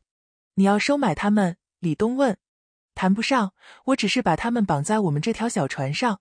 到时候，如果他们还是恶意扭曲事实报道，那么他收下的十万块就是受贿的罪证了。要是他们说这是赔偿相机的钱怎么办？别人会相信吗？一个相机十万块。李东看着林雨柔的眼神满是赞赏，他能够在这短短的时间里想到这些，真的是很厉害了。这足以证明林雨柔当上了总经理之后，真的学到了很多东西。可惜他们并不相信你的解释。是啊，他们认定了我们是罪魁祸首，所以我们只能从其他渠道来防范了。林雨柔点头，说着，他看向李东，其他渠道自然是要李东来出面了。李东点了点头，拿出手机拨打了一个电话出去。李先生，您怎么主动给我打电话了？有事儿？对面传来了东海大领导的声音：“有事。”李东道：“今天有两个记者过来医院这边偷拍，他们可能将这件事情捅出去。这件事情大领导自然是知道的。听到李东的话，他也立刻意识到了问题的严重性。他的脾气向来都是很好的，但听到这话之后，也忍不住开口骂人了：‘是哪个混账东西这么缺德？您现在在哪儿？我立刻过去。’”大领导对这件事情的来龙去脉很清楚的，一开始他还说要负责这件事情，只不过李东不让，毕竟他是大领导，要负责东海那么多的事情，这种小事让他来负责，大材小用了。算了，大过年的你不用过来了，在家多陪陪老婆孩子吧。李东摇头，你只需要帮我给有关方面打声招呼就行了。那些患者的解药应该很快就要研制出来了，到时候就没事了。李先生，您这话说的，跟我还客气啥？大领导笑着道：“放心吧，只要有我还在这个位置上一天，这件事情就不会出现在媒体上。”李东知道他这话不是吹的，毕竟东海的大领导只要一句话，整个东海的媒体就不敢造次，除非不想混了。本来这件事情会暂时压制住，但事情却没有预想中的那么顺利。确实有大领导的发话。东海的那些媒体的确是没有人敢造次，但在网络的论坛上面，有关于保健品中毒的新闻却出现了。最先出现的是东海一个县城的论坛上，那个帖子上介绍了刘家的背景，介绍了林氏集团跟刘家之间的关系，还介绍了这起中毒事件的经过。在文章中，大肆抨击清河保健品公司是黑心商家。并且还着重说明了清河保健品公司的法人代表与林氏集团总经理林雨柔之间的关系。最后，在帖子的结尾处补充了一句话：“请大家帮我将这个帖子顶起来，转发出去，让更多人看到清河保健品是一家什么样的公司，让更多人知道林氏集团在背后扮演了什么样的角色。如果截止明天有一万人顶帖，一万人转载，我就公布受害者的照片。嗯。于是，一时间这个帖子纷纷被其他论坛转载，很快就在网络上引爆了。一时间骂声连天，无数的观众前来谩骂攻击，更有人带起了节奏，也开始对林氏集团进行攻击。一时间，刘家跟林氏集团一下子就成为了人人喊打的过街老鼠。